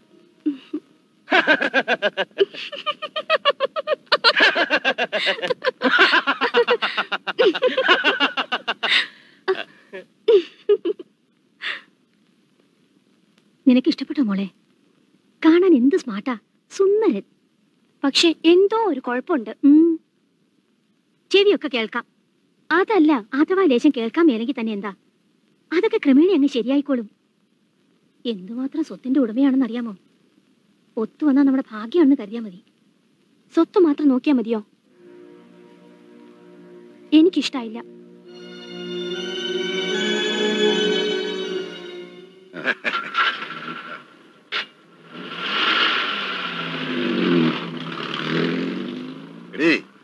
നടുവത്ത് തറവാട്ടിലേക്കാ നമ്മുടെ മോൾ പോകുന്നത്. പോവും പോവും. അവക്ക് ഇഷ്ടമില്ലെന്നാ പറഞ്ഞത്. അഹങ്കാരി. ആ പയ്യൻ എന്താണ് ഒരു കുഴപ്പം? കുഴപ്പം നമുക്കല്ലേ അറിയാവൂ. ദേ അതൊന്നും നീ വിശേഷിക്കാൻ പോകട്ടാ ഞാൻ ഒരു കാര്യം പറഞ്ഞേക്കാം. ഈ കല്യാണം ഞാൻ നടത്തും. നടത്തിയിരിക്കും. എന്നാലും അളിയൻ എന്നോട് ഒരു വാക്ക് പറഞ്ഞു. ഞാനൊരു അന്യനാണ്. നമ്മുടെ കുടുംബത്തിലെ ഒരു വിശേഷം നാട്ടുകാർ പറഞ്ഞ് ഞാൻ അറിയാന്ന് വെച്ചാ അളിയൻ മനഃപൂർവം എന്നെ കൊച്ചാക്കിയതാ. എന്താ ഇവിടെ ഉണ്ടായേ? എന്തുണ്ടായിരുന്നു ബാലന്റെ വിവാഹം. ആ അതാണോ? അത് കഴിഞ്ഞിട്ടൊന്നുമില്ലല്ലോ. ഒരു വാക്ക് പറഞ്ഞു വെച്ചു. അത്രേ ഉള്ളൂ. അത് തന്നെയാ ഞാനും ചോദിക്കുന്നത്. മൂത്തവൻ ഇരിക്കുമ്പോൾ ഇളയവന്റെ വിവാഹം ഉറപ്പിക്കൽ നമ്മുടെ കുടുംബത്തിൽ പതിവുണ്ടോ? പതിവില്ല. പക്ഷെ അങ്ങനെ ചെയ്യാൻ പാടില്ലെന്ന് നിയമമൊന്നും ഇല്ലല്ലോ എന്തിനാ ഇത്ര ധൃതി പിടിക്കുന്നത്? അവർക്ക് അതിന് മാത്രം പ്രായമൊന്നും ആയിട്ടില്ലല്ലോ. ഒരു വിവാഹ ബന്ധമാകുമ്പോ നമ്മുടെ നിലയും വിലയും നോക്കണം. അവരുടെ കുടുംബ മഹിമ നോക്കണം. പിന്നെ പെണ്ണിന്റെ സ്വഭാവം നോക്കണം. ഇതൊക്കെ നോക്കി ഒന്നോ രണ്ടോ വർഷത്തിനകം നടത്തിയാ പോരെ. അതായത് ഞാൻ ചത്തിട്ട്. അതിപ്പോ അളിയനില്ലെങ്കിൽ ഞങ്ങൾ കേമമായിട്ട് നടത്തത്തില്ലയോ? ഓ അതിനുവേണ്ടി കാത്തിരിക്ക. എന്നാ കേട്ടോ അവരുടെ എല്ലാ കാര്യങ്ങളും ഞാൻ അന്വേഷിച്ചു. കൊള്ളാം. ബാലനും കുട്ടിയും പരസ്പരം ഇഷ്ടപ്പെടുകയും ചെയ്തു. പിന്നെന്താ? ആ ബ്രോക്കർ ഹംസയെ വിശ്വസിക്കരുത്. അളിയനേക്കാൾ വിശ്വസിക്കാം. അളിയാ ഞാൻ ആത്മാർത്ഥത കൊണ്ടാ പറയുന്നത്. ഹാ എന്താ അളിയാ ഇങ്ങനൊക്കെ പറയുന്നേ? സഹദേവൻ അളിയന്റെ ആത്മാർത്ഥത്തെ കുറിച്ച് എന്നോട് പ്രത്യേകിച്ച് പറഞ്ഞു കേൾപ്പിക്കണോ ഇപ്പൊ എന്താ വേണ്ടേ? അല്ല ഈ കല്യാണത്തിന്റെ കാര്യം നമുക്ക് രണ്ടുപേർക്കും കൂടെ കല്യാണത്തിന്റെ കാര്യമൊക്കെ ഞാൻ ഭംഗിയായിട്ട് ചെയ്തിരിക്കും. അളിയനെ അറിയിക്കുകയും ചെയ്യും. എന്നാ പിന്നെ അളിയൻ നിന്ന് ബുദ്ധിമുട്ടാ പോ. എന്താ പോട്ടെ? ഓ അങ്ങനെ ആട്ടളിയാ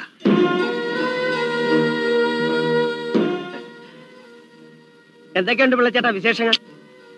ഒരു വിശേഷമില്ലേ ആ. ഉം.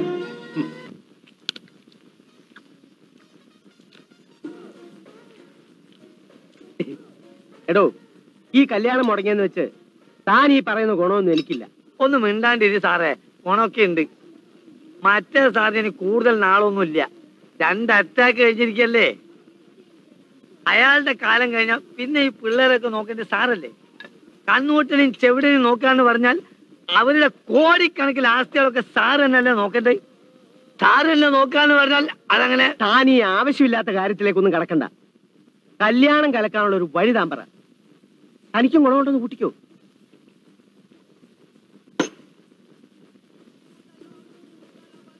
അല്ല ഒന്നും പറഞ്ഞില്ല. പതുക്കെ മതി പതുക്കെ മതി.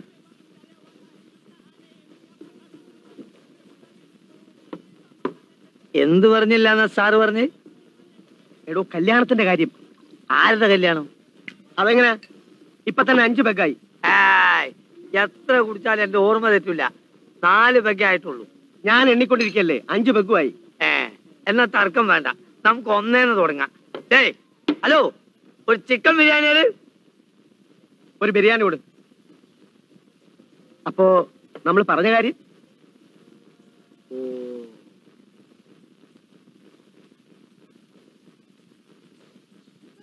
അപ്പൊ നമ്മൾ പറഞ്ഞു വന്നത്? എടോ കലക്കുന്ന കാര്യം. സോറി ഞാൻ മറന്നുപോയി. അതിന് വഴിയുണ്ട് നമുക്ക് ഒരു ഡോക്ടറെ കാണിച്ചാലോ? എന്തിന്? കലക്കാൻ? എന്ത്? ഗർഭം. എടോ കണ്ണു പൊട്ടന്റെയും ചെകിടന്റെയും കാര്യമാണ് ഞാൻ പറഞ്ഞത്. അവരും ഗർഭിണികളാണോ? അവർ പുരുഷന്മാരല്ലേ? എടോ താൻ എന്തെങ്കിലും ഒരു വഴി പറ. പറയാം. പറയാം. യെസ് പറയാം. യെസ്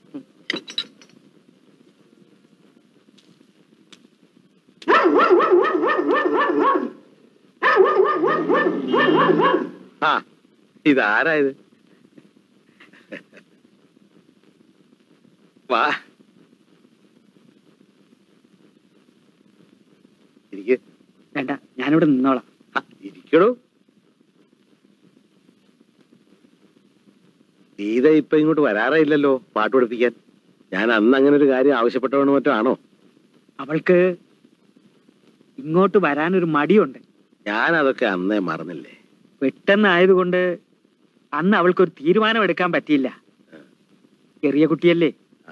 പിന്നെ വിവാഹം എന്ന് പറയുന്നത് ജീവിതത്തിലെ ഒരു പ്രധാന കാര്യവുമാണല്ലോ. പിന്നെ? പിന്നീട് ആലോചിച്ച് കാണണം. അവൾക്ക് ഈ ബന്ധത്തിന് സമ്മതമാണത്രേ. ഇതെങ്ങനെ പറഞ്ഞു? പറഞ്ഞു.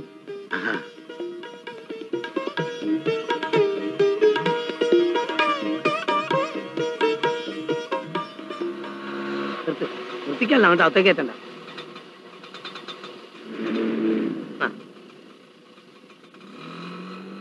സാറേ പടച്ചോനാണ് സാർ എന്നെ വിശ്വസിക്കണം. പഴയ മാതിരി ഒന്നല്ല കംപ്ലീറ്റ് അന്വേഷിച്ചിട്ടാണ് വരുന്നത്. പത്ത് പതിനഞ്ച് വർഷമായിട്ട് എം ബി ബി എസിന് പഠിച്ചുകൊണ്ടിരിക്കുന്ന കുട്ടിയാ. ഇപ്പം നടത്തുന്ന അവർ പറയുന്നത്. ഇന്ന് മുഹൂർത്തം ഇല്ലാത്തതുകൊണ്ട് അല്ല ഇന്ന് നടത്തായിരുന്നു അത്ര നല്ല സെറ്റപ്പാ ആ. ഉണ്ണിയുടെ കാര്യത്തിനല്ലേ? അതെ. തീരുമാനിച്ചല്ലോ. എങ്ങനെ മനസ്സിലായില്ല? ഞങ്ങളിപ്പോ ആ കാര്യ പറഞ്ഞോണ്ടിരിക്കുന്നത് അത് ശരി. പുതിയ ബ്രോക്കറാണല്ലേ? അല്ലല്ല. ഉണ്ണി വിവാഹം ചെയ്യാൻ പോകുന്ന പെണ്ണിന്റെ അച്ഛനാ. നമസ്കാരം. പക്ഷേ ഇവിടെ ഇപ്പൊ പ്രശ്നം അതല്ല. പിന്നെന്താ? സാറിന്റെ ഒരു അലിയനുണ്ടല്ലോ. എന്താണ് അയാളെ പേര്? മറ്റേ അയാൾ നമ്മളെ ബാലന്റെ കല്യാണം മുടക്കാൻ മെനക്കെട്ട് ഇറങ്ങിയിരിക്ക. ആ പെണ്ണിന്റെ വീട്ടിൽ ചെന്ന് പ്രശ്നം ഉണ്ടാക്കിയെന്ന്. ഞാൻ തക്ക സമയത്ത് ഇടപെട്ടുകൊണ്ട് സംഗതി നടന്നില്ല. ഇനി എന്തായാലും ഇത് വെച്ച് നീട്ടണ്ട.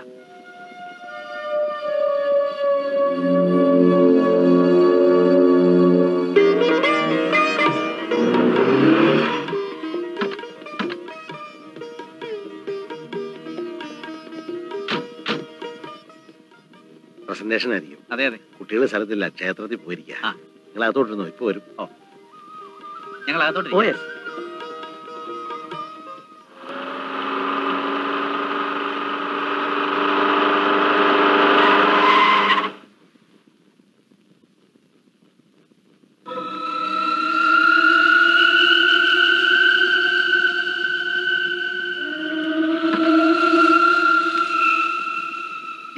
പെട്ടെന്ന് കല്യാണ മണ്ഡപം എത്തിയോ? ഉണ്ണി കേറ്. കാറിലോട്ട് കേറ്. എന്താ എന്താ?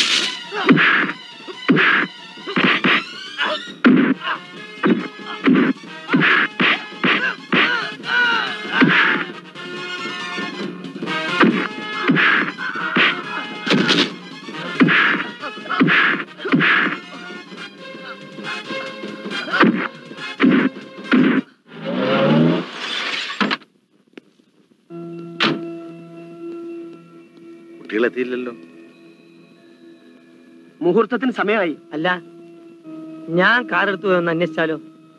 അത് ശരിയാ. വേവാട്ട് വണ്ടി എടുക്ക് പോവാ. അല്ലാംസ താനിപ്പോ പോയാൽ ഇവിടുത്തെ കാര്യങ്ങളൊക്കെ എങ്ങനെയാ?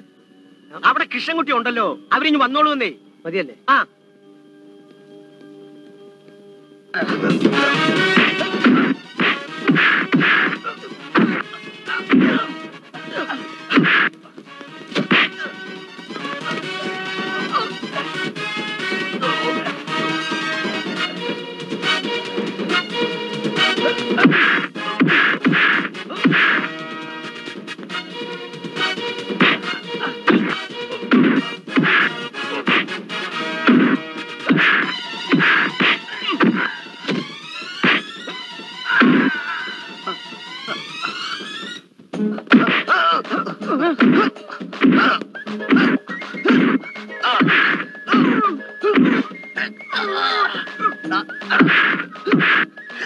പുള്ളിയെ ഞാനാ. ആര് കൃഷ്ണൻകുട്ടിയോ? അയ്യോ ആൾ തെറ്റിപ്പോയത് ഞാൻ അറിഞ്ഞില്ല. എന്നാ പിടി.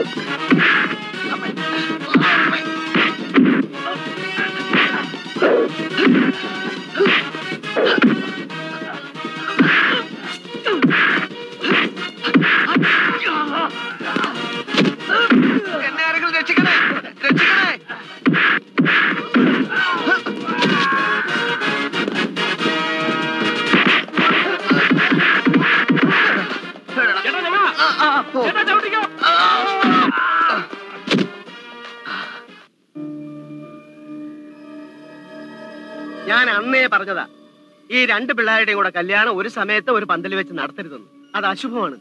ഏ ഇനി അഞ്ചു മിനിറ്റേ ഉള്ളൂ. അളിയ ഞാൻ നോക്കിയിട്ട് മാനം പോകാതിരിക്കാൻ ഇനി ഒരു വഴിയേ ഉള്ളൂ. നേരത്തെ ഹാളിൽ ഇരിക്കുന്ന ആളുകളെ പിരിച്ചുവിടുക. ഹംസ പോയില്ലേ? അല്ല ഞാൻ പോയാൽ ഇവിടുത്തെ കാര്യങ്ങൾ അല്ലേ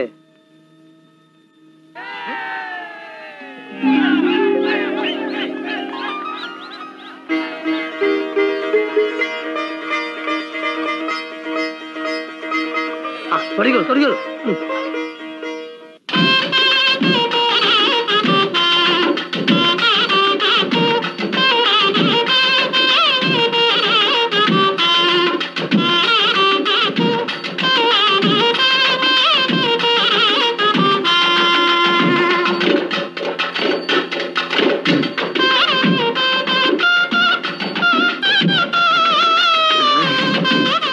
മുഹൂർത്ത സമയമായില്ലേ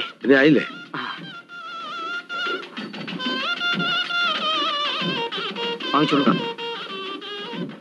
കെട്ടിക്കോളൂ എടുക്കോളൂ എന്നെയല്ല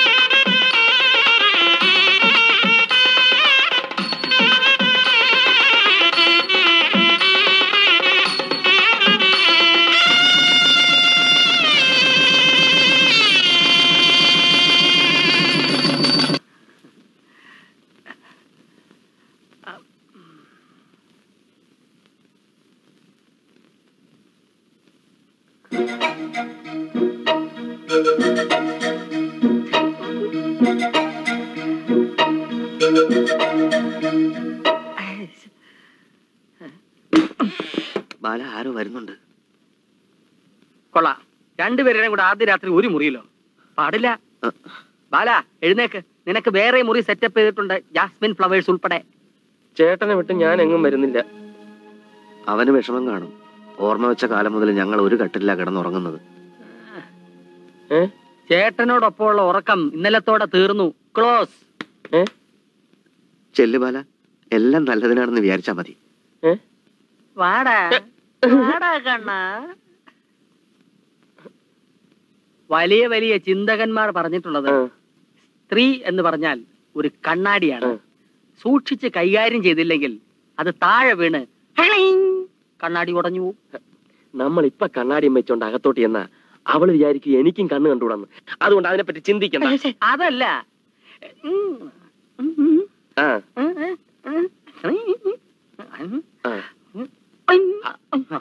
അത് ശരി. ഞാൻ പോണോ? പോണം. പോ പോ പോ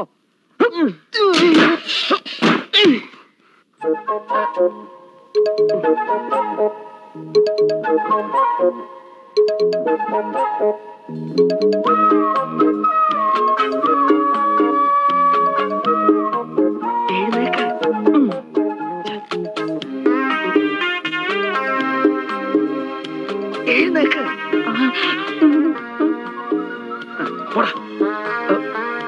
എന്നാ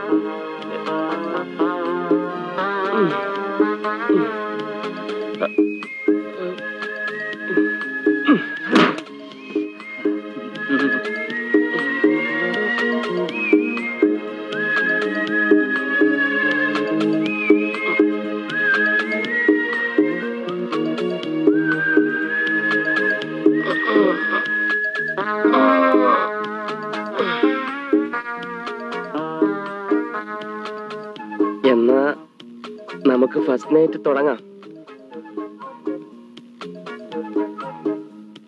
ഏത് കോളേജിലാ പഠിച്ചത്? യൂണിവേഴ്സിറ്റി വിമൻസ് കോളേജ് പറഞ്ഞോളൂ നാണിക്കണ്ട. യൂണിവേഴ്സിറ്റി വിമൻസ് കോളേജ് എന്താ ഒന്നും മിണ്ടാത്തത്? ഞാൻ പഠിച്ചിട്ടില്ല. അത് പറയാൻ എന്താ ഇത്ര വിഷമം? ഞാനും വലുതായിട്ടൊന്നും പഠിച്ചിട്ടില്ല. അത് നന്നായി.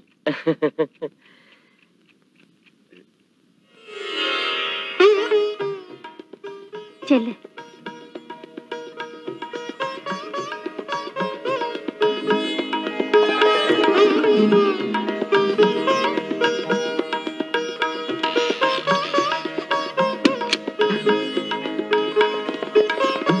ആ- ആരാ?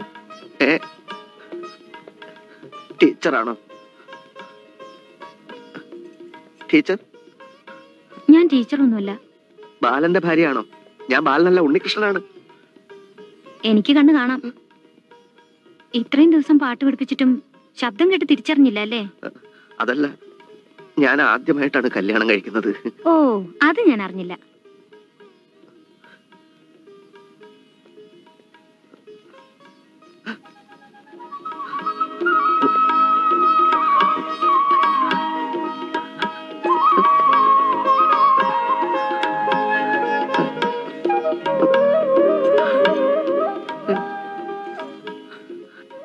ഇവിടെ എങ്ങാണ്ട് എന്തോ ഉണ്ടായിരുന്നല്ലോ.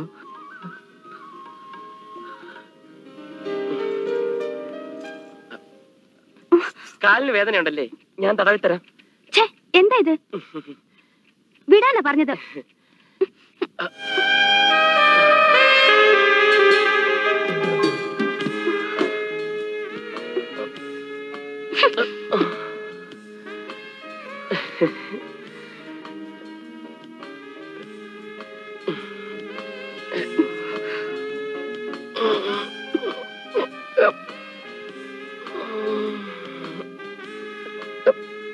നമ്മുടെ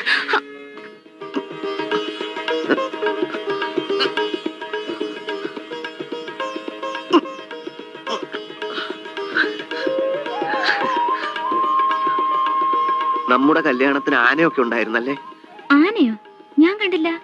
ഉണ്ടായിരുന്നു. നിം നിം നിം നിം മണിയൊക്കെ അടിച്ചിട്ട്. അത് അടുത്ത സ്കൂളിൽ ബെല്ലടിച്ചതാ.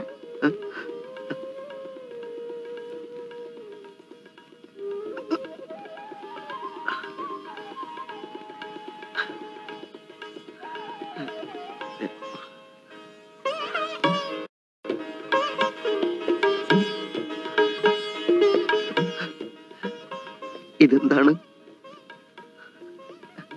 പൂവ്.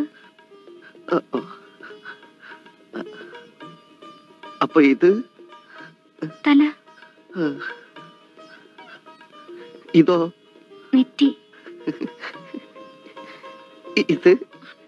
മൂക്ക്. ഇത്? അതൊന്നുമില്ല ഒന്നുമില്ലേ ഇത്? താടി. ഇതോ? മതി.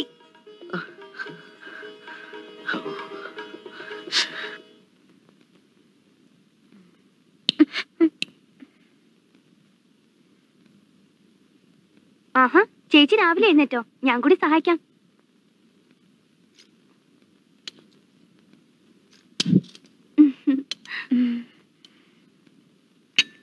തീ പോരാ ലേശം മണ്ണെണ്ണ കൂടി ഒഴിച്ചിരുന്നെങ്കിൽ ആളി കത്തിയനെ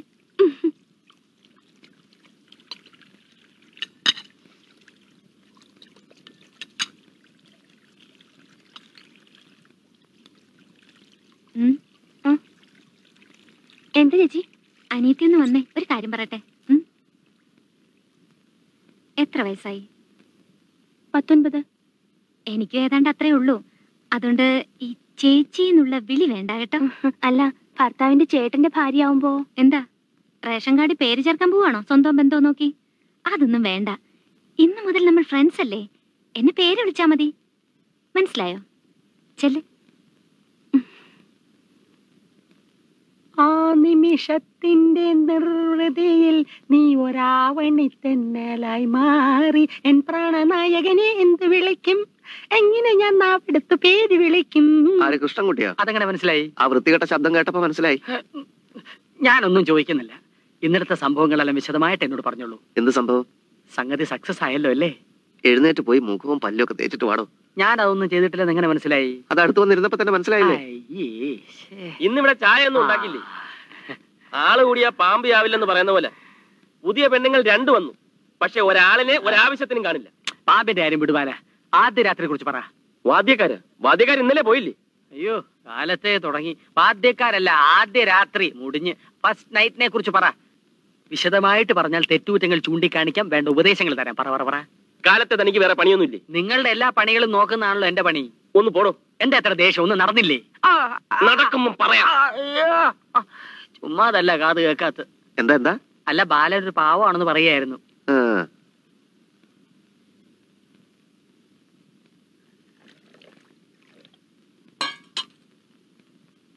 അച്ഛനും മധുരം കുറച്ച് മതി. ഒരു സ്പൂൺ.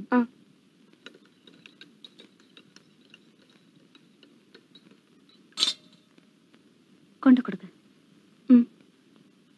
അച്ഛാ.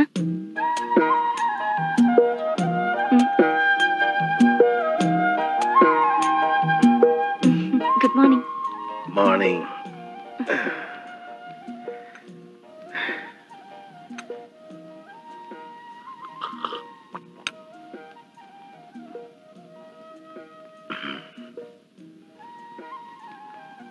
അച്ഛന് മധുരം തീരെ വേണ്ടല്ലോ. നിനക്കറിയാലോ പത്രം. മോൾ വിഷമിക്കണ്ട. ഒക്കെ ശരിയായിക്കോളും.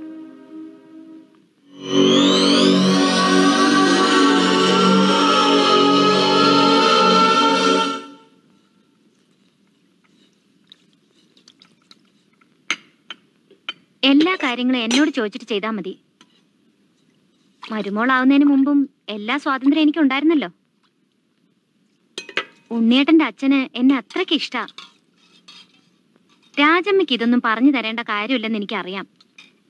പുതിയ ചില ആൾക്കാരുണ്ടല്ലോ ഇവിടെ.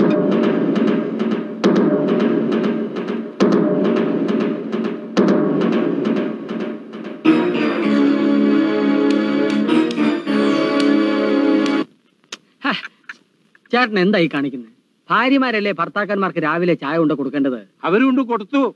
അമ്മാവന് ചായ. ചായ. ഒന്ന് പോടാ അവിടെ.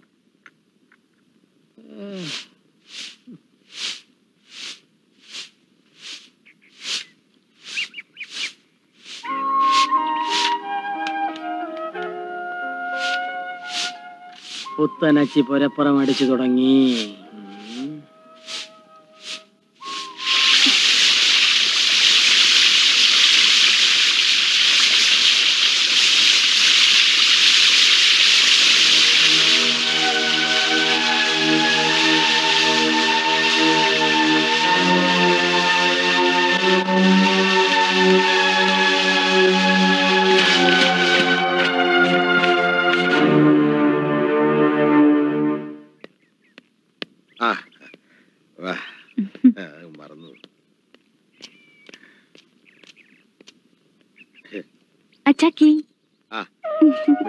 മിടുക്കി മോൾ ഒരുപാട് പുരോഗമിച്ചു കേട്ടോ. എടോ എന്റെ രണ്ട് പൊന്നു മക്കൾ എല്ലാ സപ്പോർട്ടുമായിട്ട് എന്റെ രണ്ട് സൈഡിലും നിൽക്കുമ്പോ എനിക്ക് എന്തിനാടോ ഈ വടി?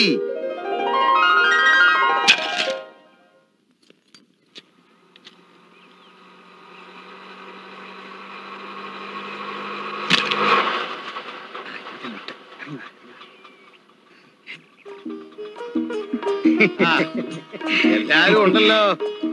മോൾ ഇങ്ങോട്ട് പോകുന്നത് പിന്നെ ജവക്കാകെ ഒരു പരവേശം. ഊണുമില്ല ഉറക്കവുമില്ല. ഓ ഈ പറയുന്ന ആൾ അച്ഛനായിരുന്നു മോളെ കാണാൻ ഒരേ നിർബന്ധം.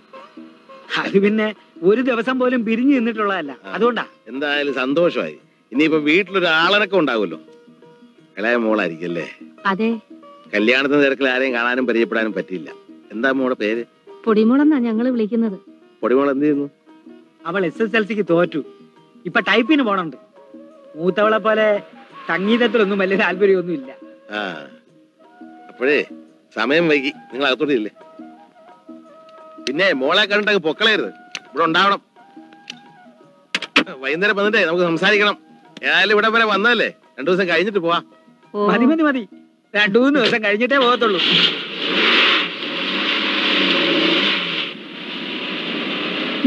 അകത്തേക്ക് പോവാം. ആ. നീ അങ്ങ് വല്ലാണ്ട് മെലിഞ്ഞു കോലം കിട്ടു പോയല്ലോടി മോളെ? എന്തു പറ്റി? എവിടെയാ നമ്മുടെ വരുമോൻ എവിടെ ബുദ്ധിമുട്ടുണ്ടായിരുന്നു. ഞാനങ്ങ് മുകളിലേക്ക് വരുമായിരുന്നല്ലോ.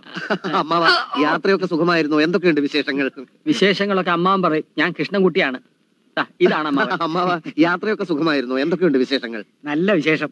പൊടിമോളെ ഈ ബാഗും കൊടയും ചേച്ചി പറയുന്ന മുറി കൊണ്ടുവയ്ക്കെ വെക്കേ.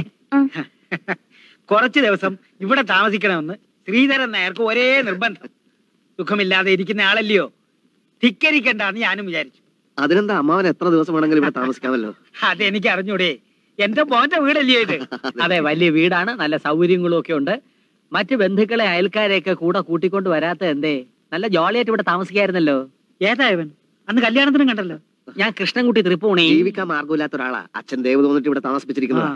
കൃഷ്ണൻകുട്ടി എല്ലാവർക്കും സ്ക്വാഷ് കലക്കി കൊടുക്കണം. അമ്മാവ. ജീവിക്കാൻ മാർഗമില്ലാത്ത ഒരാൾ സ്ക്വാഷ് അല്ല ഉം, ഉം, വിഷം കലക്കി തരാം ഞാൻ വന്നിട്ടുണ്ട് കുടുംബത്തോടെ. നീ എന്തെങ്കിലും പറഞ്ഞോ? ചേട്ടന്റെ അമ്മായി അമ്മാവനും വന്നിട്ടുണ്ട്. പെട്ടിയും കിടക്കയൊക്കെ ആയിട്ട്. ഞാൻ പോയിന്ന് കണ്ടിട്ട് വരാം.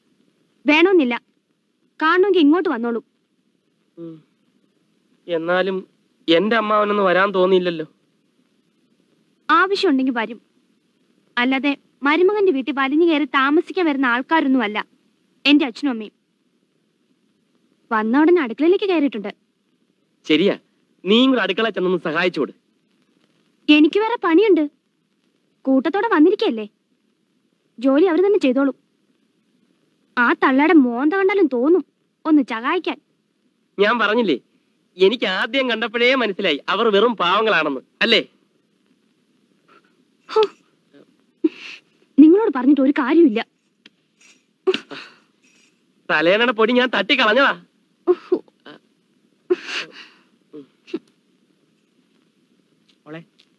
ഓളെ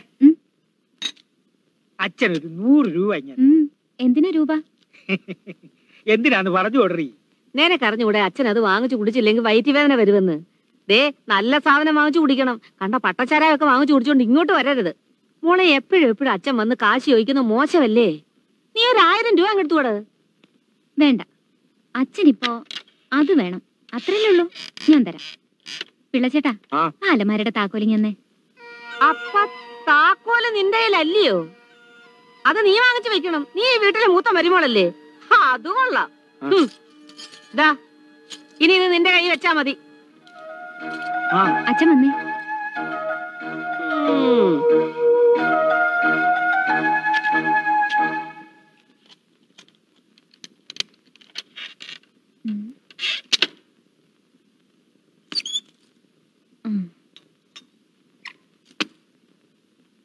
ഇതാ ഉണ്ണിയേട്ടന്റെ അച്ഛൻ കഴിക്കില്ല. ആരെങ്കിലും വരുമ്പോ കൊടുക്കാൻ വെച്ചിട്ടുള്ളതാ. ഞാൻ പറഞ്ഞോളാം.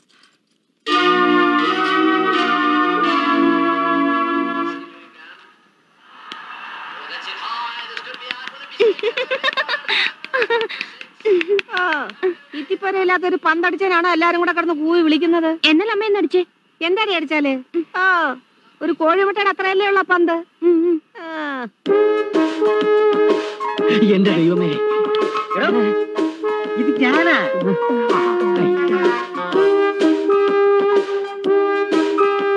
ഇതോ ഇത് ഉപയോഗിക്കാതെ വെച്ചിരുന്ന ചീത്തയായി പോകുന്ന സാധനമാ. അതുകൊണ്ടാ. എന്നാലേ ഇത് ഉപയോഗിക്കേണ്ട ഇങ്ങനെയല്ല ഇവിടെ എന്തോ ഒരു ഒച്ച കേട്ടത്? ഒന്നുമില്ല ഒന്നുമില്ല. നീ പോയി കുറച്ച് തണുത്ത വെള്ളം ഒരു ഗ്ലാസ് എടുത്ത് എങ്കിലതൊന്ന് അറിയണമല്ലോ. നമ്മുടെ നാടൻ പട്ടയാണോ യവനാണോ കൂടുതൽ വമ്പനെന്ന്. ഓ അതറിയാനാണോ അമ്മാവൻ അച്ഛന്റെ സ്കോച്ച് എടുത്തത്? അച്ഛനാ. ഇതെന്റെ മരുമോന്റെ ആടോ കേട്ടോ ഉണ്ണി. ചില അലവിലാദികൾ ഈ വീട്ടിൽ ആവശ്യമില്ലാതെ കിടന്ന് കറങ്ങുന്നുണ്ട്. ശരിയാ ഉണ്ണി. ചില അലവലാദികളെ ഒതുക്കേണ്ടത് നമ്മുടെ ഒരു ആവശ്യമാണ്. എടാ നീ ആർക്കിട്ടാ വയ്ക്കുന്നതെന്ന് എനിക്ക് മനസ്സിലാകുന്നുണ്ട്. അത് മനസ്സിലാക്കാൻ വലിയ ബുദ്ധി വേണ്ട. കൃഷ്ണൻകുട്ടി എന്റെ അമ്മാവനും കുടുംബത്തിനും ഇവിടെ ഒരു കുറവും വരാൻ പാടില്ല. നീ നോക്കിക്കോളണം. നോക്കിക്കൊണ്ടിരിക്കുകയാണേ. എല്ലാം തന്നെത്താൻ എടുത്ത് അടിക്കാൻ കെൽപ്പുള്ളവനാണ് അമ്മാവൻ. ഇപ്പൊ ഇട്ടിരിക്കുന്നതന്നെ എന്താണെന്ന് അറിയാവോ അച്ഛന്റെ ഗൗൺ. നല്ല ചേർച്ച. വെള്ളരിക്കാത്തോട്ടത്തിൽ കമ്പേ കുത്തിർത്തിയാൽ കണ്ണുവിടുകയല്ല എടാ തെണ്ടി. എന്നെയാണ്. സൂക്ഷിച്ച് സംസാരിക്കണം പറഞ്ഞേക്കാം. കൃഷ്ണൻകുട്ടി ഓ. എഴുന്നേറ്റ് പോയി എന്റെ തുണിയൊക്കെ ഇസ്ത്രീയിട്. കൃഷ്ണൻകുട്ടി. ഓയ് നിഷേധി. മോനെ ഉണ്ണി. ഈ പരമ പാഷാണത്തിന് എത്രയും വേഗം ഇവിടെ നിന്ന് പറഞ്ഞു വിടുന്നതാ ബുദ്ധി. അച്ഛനോട് പറയാം.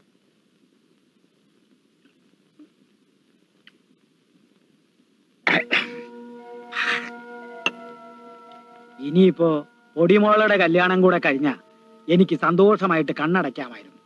അതിനെന്താ മാവ നമുക്ക് നടത്താം. നാലു മൂട് തെങ്ങും രണ്ട് പെൺകുട്ടികൾ ദൈവം എനിക്ക് അതാ തന്നത്. അങ്ങനെയല്ല മാവ ഇനി എനിക്കുള്ളതെല്ലാം അമ്മാവന്റെ കൂടെയാണ്. അത് മതി മോനെ. എനിക്കത് കേട്ടാ മതി.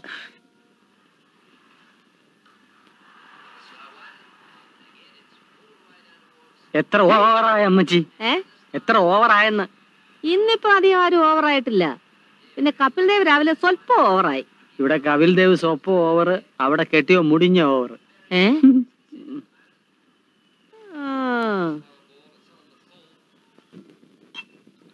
മതി അച്ഛാ. ഇപ്പൊ തന്നെ കൂടുതലായി. അച്ഛൻ വന്നെന്നാ തോന്നുന്നേ.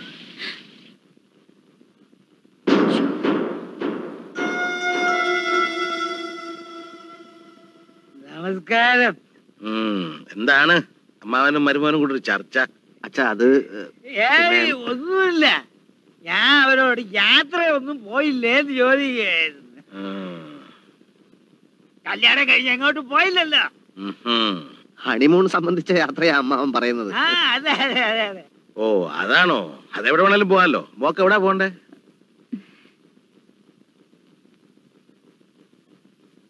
കാശ്മീർ. അതിലും നല്ല പഞ്ചാബാ. അവിടെ ശരിക്കും വെടിയാ അതും കാണാ. ഞാൻ വിചാരിച്ച എന്നെ തിരക്ക് കഴിഞ്ഞിട്ട് എല്ലാവർക്കും കൂടെ ഒരുമിച്ചൊരു യാത്ര. എങ്കിൽ അതാ നല്ലത്. എനിക്കും കൂടി ഈ സ്ഥലമൊക്കെ കാണാനല്ല ആ. ആ നിങ്ങൾ എവിടെ ആയിരുന്നു മുകളിലായിരുന്നു അച്ഛാ എനിക്കൊരു ടി വി വേണം. ഉണ്ടല്ലോ ഇതായിരിക്കുന്നു അതുപോലെ എന്റെ മുറിയിൽ പ്രത്യേകം വേണം. അതെന്താ അങ്ങനെ? ഈ ടി വിയുടെ മുമ്പിൽ സിനിമാ തിയേറ്ററിലെ പോലെ ഉന്തും തള്ളുവാണെന്ന് അഞ്ജലി പറഞ്ഞു. ടി വി സ്വല്പം ഉന്തിയതല്ലേ കാണുന്ന അസുഖം മനസ്സിലായോ?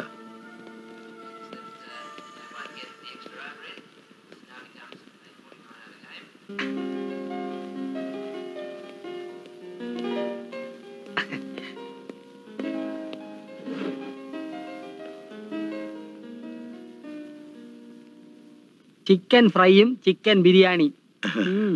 ആരോഗ്യത്തിന് വളരെ നല്ലതാ. ഈ അറബികളുണ്ടല്ലോ അവർ ഇതാ കഴിക്കുന്നേ. അതെ നമ്മുടെ വീട്ടിൽ ദിവസം ഇത് തന്നെയാണോ? ആ എന്ന് വെച്ചോ. അല്ല ഈ ബ്രേക്ക്ഫാസ്റ്റിന് എങ്ങനെ കഴിക്കും? ഏ? രാവിലെ ഇതൊക്കെ എങ്ങനെ കഴിക്കുമെന്ന്? കുറച്ച് ഇതും കൂടെ ചേർത്താൻ കഴിച്ചാ മതി.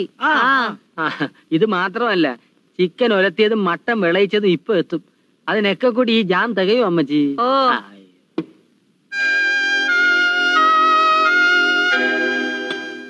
ഒന്നും കഴിച്ചില്ല അത് സാരമില്ല നിങ്ങൾ കഴിച്ചു. ഓ, എന്റെ ദൈവമേ വീട്ടിലുള്ളവർ കഴിച്ചാൽ എന്ത് കഴിച്ചില്ലെങ്കിൽ എന്ത്? ഏ? ഒന്നും പറഞ്ഞില്ല. കഴിച്ചോ കഴിച്ചോ.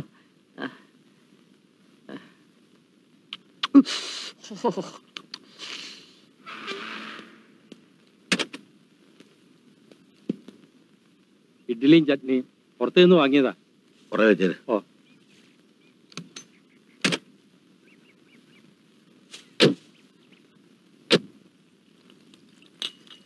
ഏ ഇതൊക്കെ ഒന്ന് ഭംഗിയായിട്ട് കഴുകി വെക്ക്.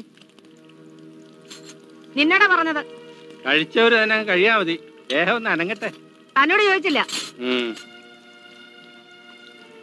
ഏ നിന്റെ കെട്ടിയവന്റെ നാക്കടക്കി വെക്കാൻ പറയണം. പിഴുതെടുക്കും ഞാൻ.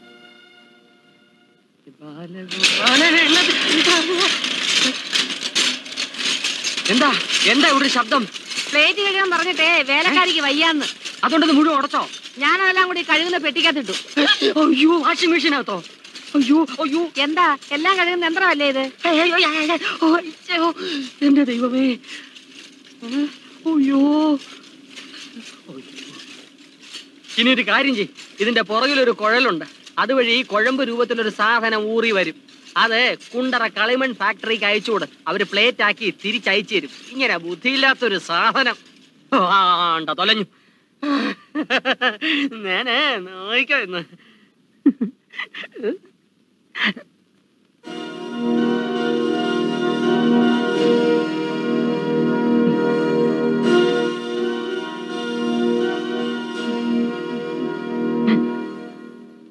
വന്ന വരവ് കണ്ടപ്പോഴേ ഞാൻ ഊഹിച്ചു ഇത് നല്ലതിനല്ലെന്ന്. എന്റെ സ്വന്തം അമ്മാവിനും അമ്മാവനും ആയിരുന്നേൽ രണ്ടെണ്ണത്തിനെ കഴുത്തിന് പിടിച്ചാൽ പുറത്തു കളിയേനെ തുണി അലക്കുന്ന യന്ത്രത്തിനകത്താണോ പ്ലേറ്റ് എഴുതുന്നത് എന്താ കൃഷ്ണൻകുട്ടി? ഇയാൾ ഈ പൊട്ട കണ്ണടയും വെച്ച് ധൃതരാഷ്ട്ര പോലെ ഇവിടെ തന്നെ ഇരുന്നോ? ഇത്രയും സംസ്കാരമില്ലാത്തൊരു കിളവിനെ ഞാൻ കണ്ടിട്ടില്ല. മൂക്ക് മുട്ട ചിക്കൻ തിന്ന് ബാത്റൂമിലേക്ക് ഒരു പോക്ക. ഞാൻ നോക്കുമ്പോഴുണ്ട് യൂറോപ്യൻ ക്ലോസറ്റിന്റെ മേളിൽ ഒറ്റ കാലി ഇങ്ങനെ നിൽക്കുക. ഇയാളൊരു കുച്ചുപ്പിടി വിദഗ്ധനോ. അച്ഛന്റെ സ്കോച്ച് മുഴുവൻ അടിച്ചു തീർത്തു. പോരാത്തനെ പട്ടച്ചാരായം വേണം? അതും എന്നോട് വാങ്ങിച്ചു കൊടുക്കും എന്റെ മേലാകെ ചൊറിഞ്ഞു വന്നു. സാറ് ബാംഗ്ലൂരിൽ നിന്ന് കൊണ്ടുവന്ന് പിടിപ്പിച്ചതാണ് ആ ലോണിലെ പുല്ല്. ഞാൻ തടഞ്ഞില്ലായിരുന്നു ഇയാൾ ചെത്തി നിരപ്പാക്കിയെ ഗീതയുടെ അച്ഛന്റെ കാര്യമാണോ കൃഷ്ണൻകുട്ടി പറയുന്നത്? പിന്നെ എന്റെ അച്ഛനാണോ ഇവിടെ താമസിക്കുന്നത്? ഉണ്ടായിരുന്ന വീടും പറമ്പും വിറ്റിട്ട് ഇയാൾ പെട്ടിയും പടക്കേട്ട് ഇങ്ങോട്ട് വന്ന എന്തിനാണ്? ഉണ്ണി ഇതൊന്നും നല്ലതിനല്ല. ആരെയും നിലക്കീർത്തണം അമ്മാവിനെയും കുടുംബത്തിനെയും ഇന്ന് എന്നെ ഇവിടുന്ന് ചവിട്ടി പുറത്താക്കണം. ഉണ്ണിക്ക് വയ്യേ പറ ഞാൻ ചെയ്യാം. കുടുംബം കുളത്തോട്ടും കുടുംബം കുളത്തോട്ടും എനിക്കിതൊന്നും സഹിക്കാൻ വയ്യ. അതെ വേദന സഹിക്കുന്നില്ല. വീണു. എവിടെ വീണു? എവിടെയൊക്കെയോ വീണു. മേലാസകളും കുഴമ്പ് വെച്ച് കുളിക്കണം. അയ്യോ.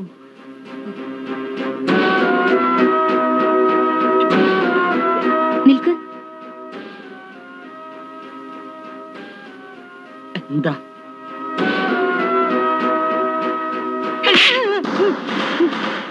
ഇനി പോയി കുഴമ്പ് തേച്ചോ. വളരെ നന്നായി. കൊടുക്കേണ്ടത് അപ്പ അപ്പ തന്നെ കൊടുക്കണം. അല്ലെങ്കിൽ അവനൊക്കെ തലയിൽ കയറും. അവനെ ഇവിടുന്ന് പറഞ്ഞു വിടണമെന്ന് ശ്രീധരൻ നായരോട് പല പ്രാവശ്യം ഞാൻ പറഞ്ഞിട്ടുള്ളതാ. അയാൾക്ക് അവനോട് എന്തോ ഒരു താല്പര്യം. അതീ വീട്ടിലെ വേലക്കാരുടെ പെരുമാറ്റം ഭാവം കണ്ട അവരാണ് ഇവിടുത്തെ എല്ലാം ഒന്ന് തോന്നിപ്പോ അതുകൊണ്ടാ ഞാൻ പറയുന്നത്. ഈ ചിത്രകളെ ഒതുക്കി നിർത്തണം. അതിനൊരൊറ്റ വഴിയേ ഉള്ളൂ. ഇനി എന്തെങ്കിലും അവന്മാർ നിന്റെ ഭർത്താവിനോട് എന്ന് പറഞ്ഞ അവൻ അത് വിശ്വസിക്കരുത്. അതിനെന്താ വേണ്ടതെന്നറിയാവോ? നീ നിന്റെ ഭർത്താവിനെ കയ്യിലെടുക്കണം. മനസ്സിലായില്ലേ? നിന്റെ ചൊൽപ്പടിക്ക് നിർത്തണമെന്ന്. സാധാരണ കല്യാണം കഴിഞ്ഞാൽ തള്ളമാരാണ് ബമ്മക്കൊക്കെ ഈ കാര്യങ്ങൾ പറഞ്ഞു കൊടുക്കുന്നത്. പറഞ്ഞു കൊടുക്കടി. അതിനെന്താ വേണ്ടതെന്ന് അറിയാവോ നീ നിന്റെ ഭർത്താവിനെ കയ്യിലെടുക്കണം.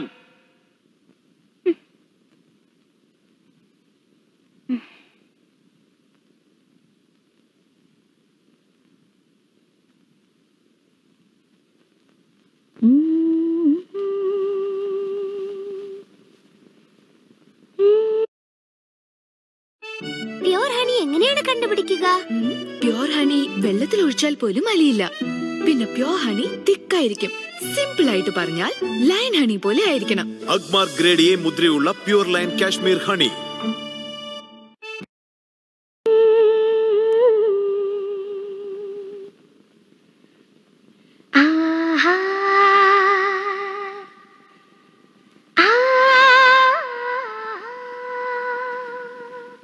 ഞാൻ പലതും ആലോചിച്ചോണ്ടിരിക്കുക ടേപ്പ് റിക്കാർഡർ ഓഫ് ചെയ്യൂ. അയ്യോ ഉണ്ണേട്ടാ ഇത് ടേപ്പ് റെക്കോർഡർ അല്ല ഞാൻ പാടിയതാ ഓഹോ അത് വേണോ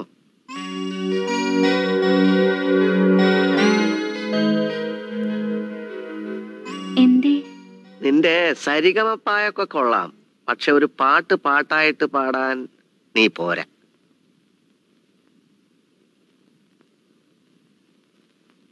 ലാ ലാ ലാ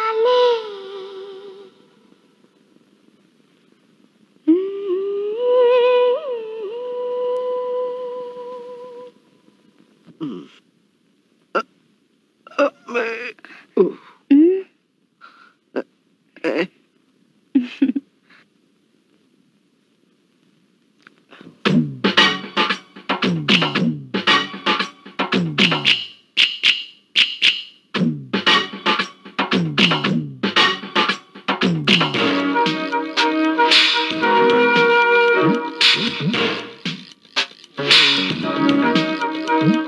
തന്നെ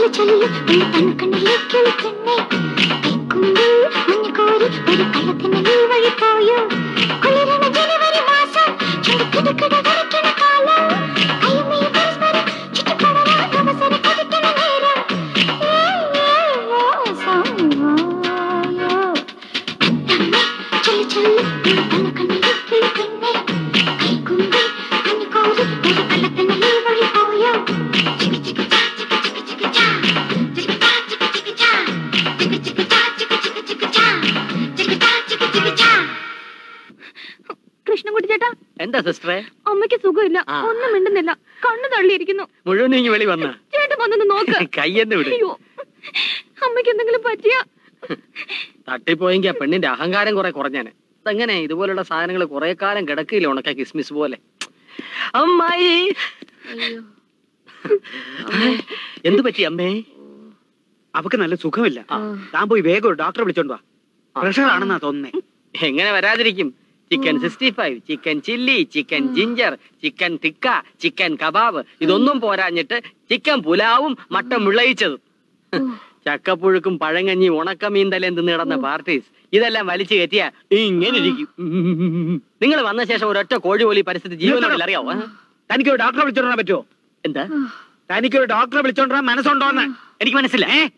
മനസ്സില്ല മനസ്സില്ല മനസ്സില്ല. എന്താ? എന്തിനാ പൊടിമോൾ ബഹളം വെച്ചത്? എനിക്കറിഞ്ഞൂടാ. ആർക്കും സുഖമില്ലെന്ന് പറയുന്നത് കേട്ടു? ഏ ഒന്നുമില്ല. അമ്മായിമ്മയ്ക്ക് ഒരു ചെറിയ ഗ്യാസ് ട്രബിൾ. എന്നോട് ഡോക്ടറെ വിളിക്കാൻ പറഞ്ഞു. ഞാൻ പറഞ്ഞു അതിന്റെ ആവശ്യമില്ല രണ്ടു മൂന്ന് ഗ്യാസ് ഗുളികൾ വാങ്ങിച്ചു കൊടുത്താൽ മതി. അയ്യോ അമ്മയ്ക്ക് പണ്ടേ പല അസുഖങ്ങളുള്ളതാ. ഡോക്ടറെ വിളിക്കാൻ പറ ഉണ്ണിയേട്ടാ. ഒരു ഡോക്ടറെ വിളിക്ക് കൃഷ്ണൻകുട്ടി. ഞാൻ എന്തിനു വിളിക്കണം? ഭർത്താക്കന്മാരെ കയ്യിലെടുക്കാനും ആണുങ്ങളെ തല്ലാനും കഴിവുള്ള ഒരു മോളുണ്ടല്ലോ അമ്മായിയമ്മയ്ക്ക്. എന്ന് വിളിക്കാൻ പറയണം. ഡോക്ടർ അല്ല മെഡിക്കൽ കോളേജ് ഉൾപ്പെടെ ഇളയിഞ്ഞു പോരും. എങ്ങോട്ടാ? ഞാനൊന്ന് പോയി അന്വേഷിക്കട്ടെ. വേണ്ട. അമ്മായിയമ്മ അന്വേഷിക്കാൻ ഞങ്ങളൊക്കെ ഉണ്ട് ഇവിടെ. അല്ല ഗീത എന്ത് വിചാരിക്കും? വായു പോകണമെന്ന് വിചാരിക്കും. നേരെ മേളിലേക്ക് കയറിപ്പോ. അല്ല എന്നാലും ഒരു എന്നാലും ഇല്ല. ഏകം കയറിപ്പോണം. പോ ഞാൻ പുറകെ വന്നേക്കാം. ഇങ്ങനെയുള്ള കഞ്ഞി ഭർത്താക്കന്മാരാണ് ഞങ്ങൾ ആണുങ്ങളുടെ അന്തസ് കളയുന്നത്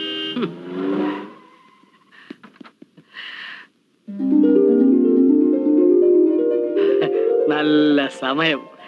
ഇനി ഇവിടെ വല്ലതൊക്കെ നടക്കും. ഞാൻ പ്രതീക്ഷിച്ചു. പക്ഷെ അല്പ താമസിച്ചു. പെട്ടിങ് തന്നെ. നീ ഇതുവരെ പോയില്ലേ? ഇല്ല. ആവശ്യമില്ലാത്ത വേലക്കാരെ പറഞ്ഞു വിടണമെന്ന് ഞാൻ മോളോട് പ്രത്യേകം പറഞ്ഞതാ. രണ്ടു മൂന്ന് ദിവസം ഇവിടെ കാണുമല്ലോ. രണ്ടു മൂന്നല്ല സ്ഥിരമായിട്ട് ഇവിടെ താമസിക്കാൻ ഉദ്ദേശിക്കുന്നത്. എന്താ? സന്തോഷം. അമ്മേ.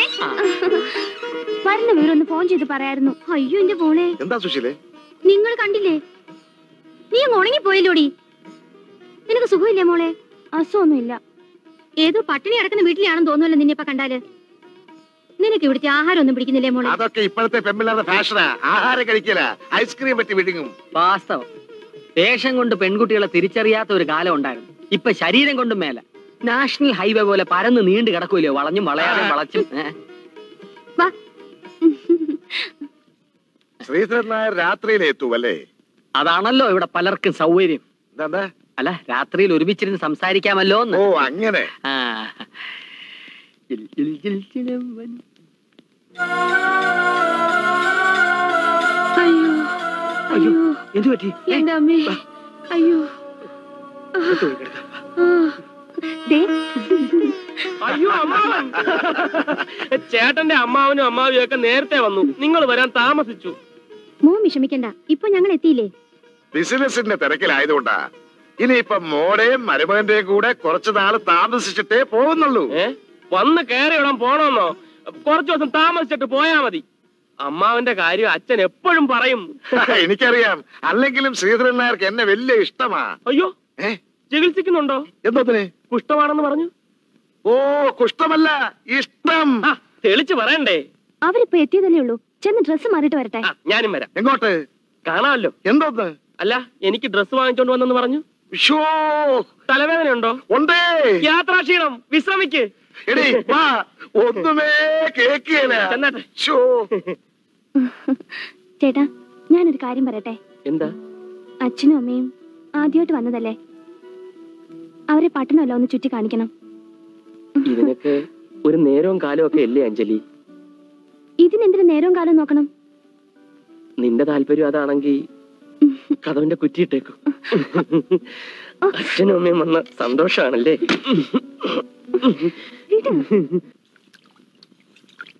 ആഹാ. നീയും കെട്ടിയവനും ഇപ്പോഴും ഇവിടെ തന്നെയാണല്ലേ? ആരുണ്ടായിട്ട് എന്താ കാര്യം? ഒന്നിനും ഒരു വൃത്തിയും എടുപ്പില്ല മറ്റേ തമ്പുരാട്ടിയും തള്ളേ അടുക്കളയിൽ കയറത്തില്ലായിരിക്കും. ഒരുങ്ങി കെട്ടി മുൻവശത്ത് കസേര കയറിയിരുന്ന സമയാസമയത്തിന് എന്തോന്നെടുത്ത് മിഴുങ്ങും ആ ഇനി ഞാൻ ശ്രദ്ധിച്ചോളാം. രാത്രി എന്തെന്നാ കഴിക്കാൻ? സാറിന് കഞ്ഞിയും ചമ്മന്തിയും മറ്റുള്ളവർക്ക് ഫ്രൈഡ് റൈസും ചിക്കൻ ഫ്രൈയും മട്ടൻ പുലാവും. ഓ. അവർ ചിക്കനും മട്ടനും ഒക്കെ തിന്ന് ശീലിച്ചവരല്ലേ? അവർക്കതായിക്കോട്ടെ. ഞങ്ങൾക്ക് വേണ്ട. മോളെ കുറച്ച് പൊടിയരിയും എടുത്തേ. അരിയൊക്കെ വെച്ച് പൂട്ടിയിരിക്കുക പൂട്ടിയിരിക്കുകയാണോ നീ അങ്ങോട്ട് പോയി തുറന്നെടുക്കണം. അതിന്റെ താക്കോൽ വേണ്ടേ? കൈയടക്കി വെച്ചിരിക്കല്ലേ ആര്? ഓ. നിലയും വിലയും വെച്ച് നോക്കുമ്പോ നീയാ ഇവിടുത്തെ ശരിയായ മരുമോൾ. പിടിച്ചു വാങ്ങിക്കണം. ആഹാ. ചേച്ചി ഇവിടെ നിൽക്കായിരുന്നോ ആ താക്കോലൊന്ന് തന്നേ.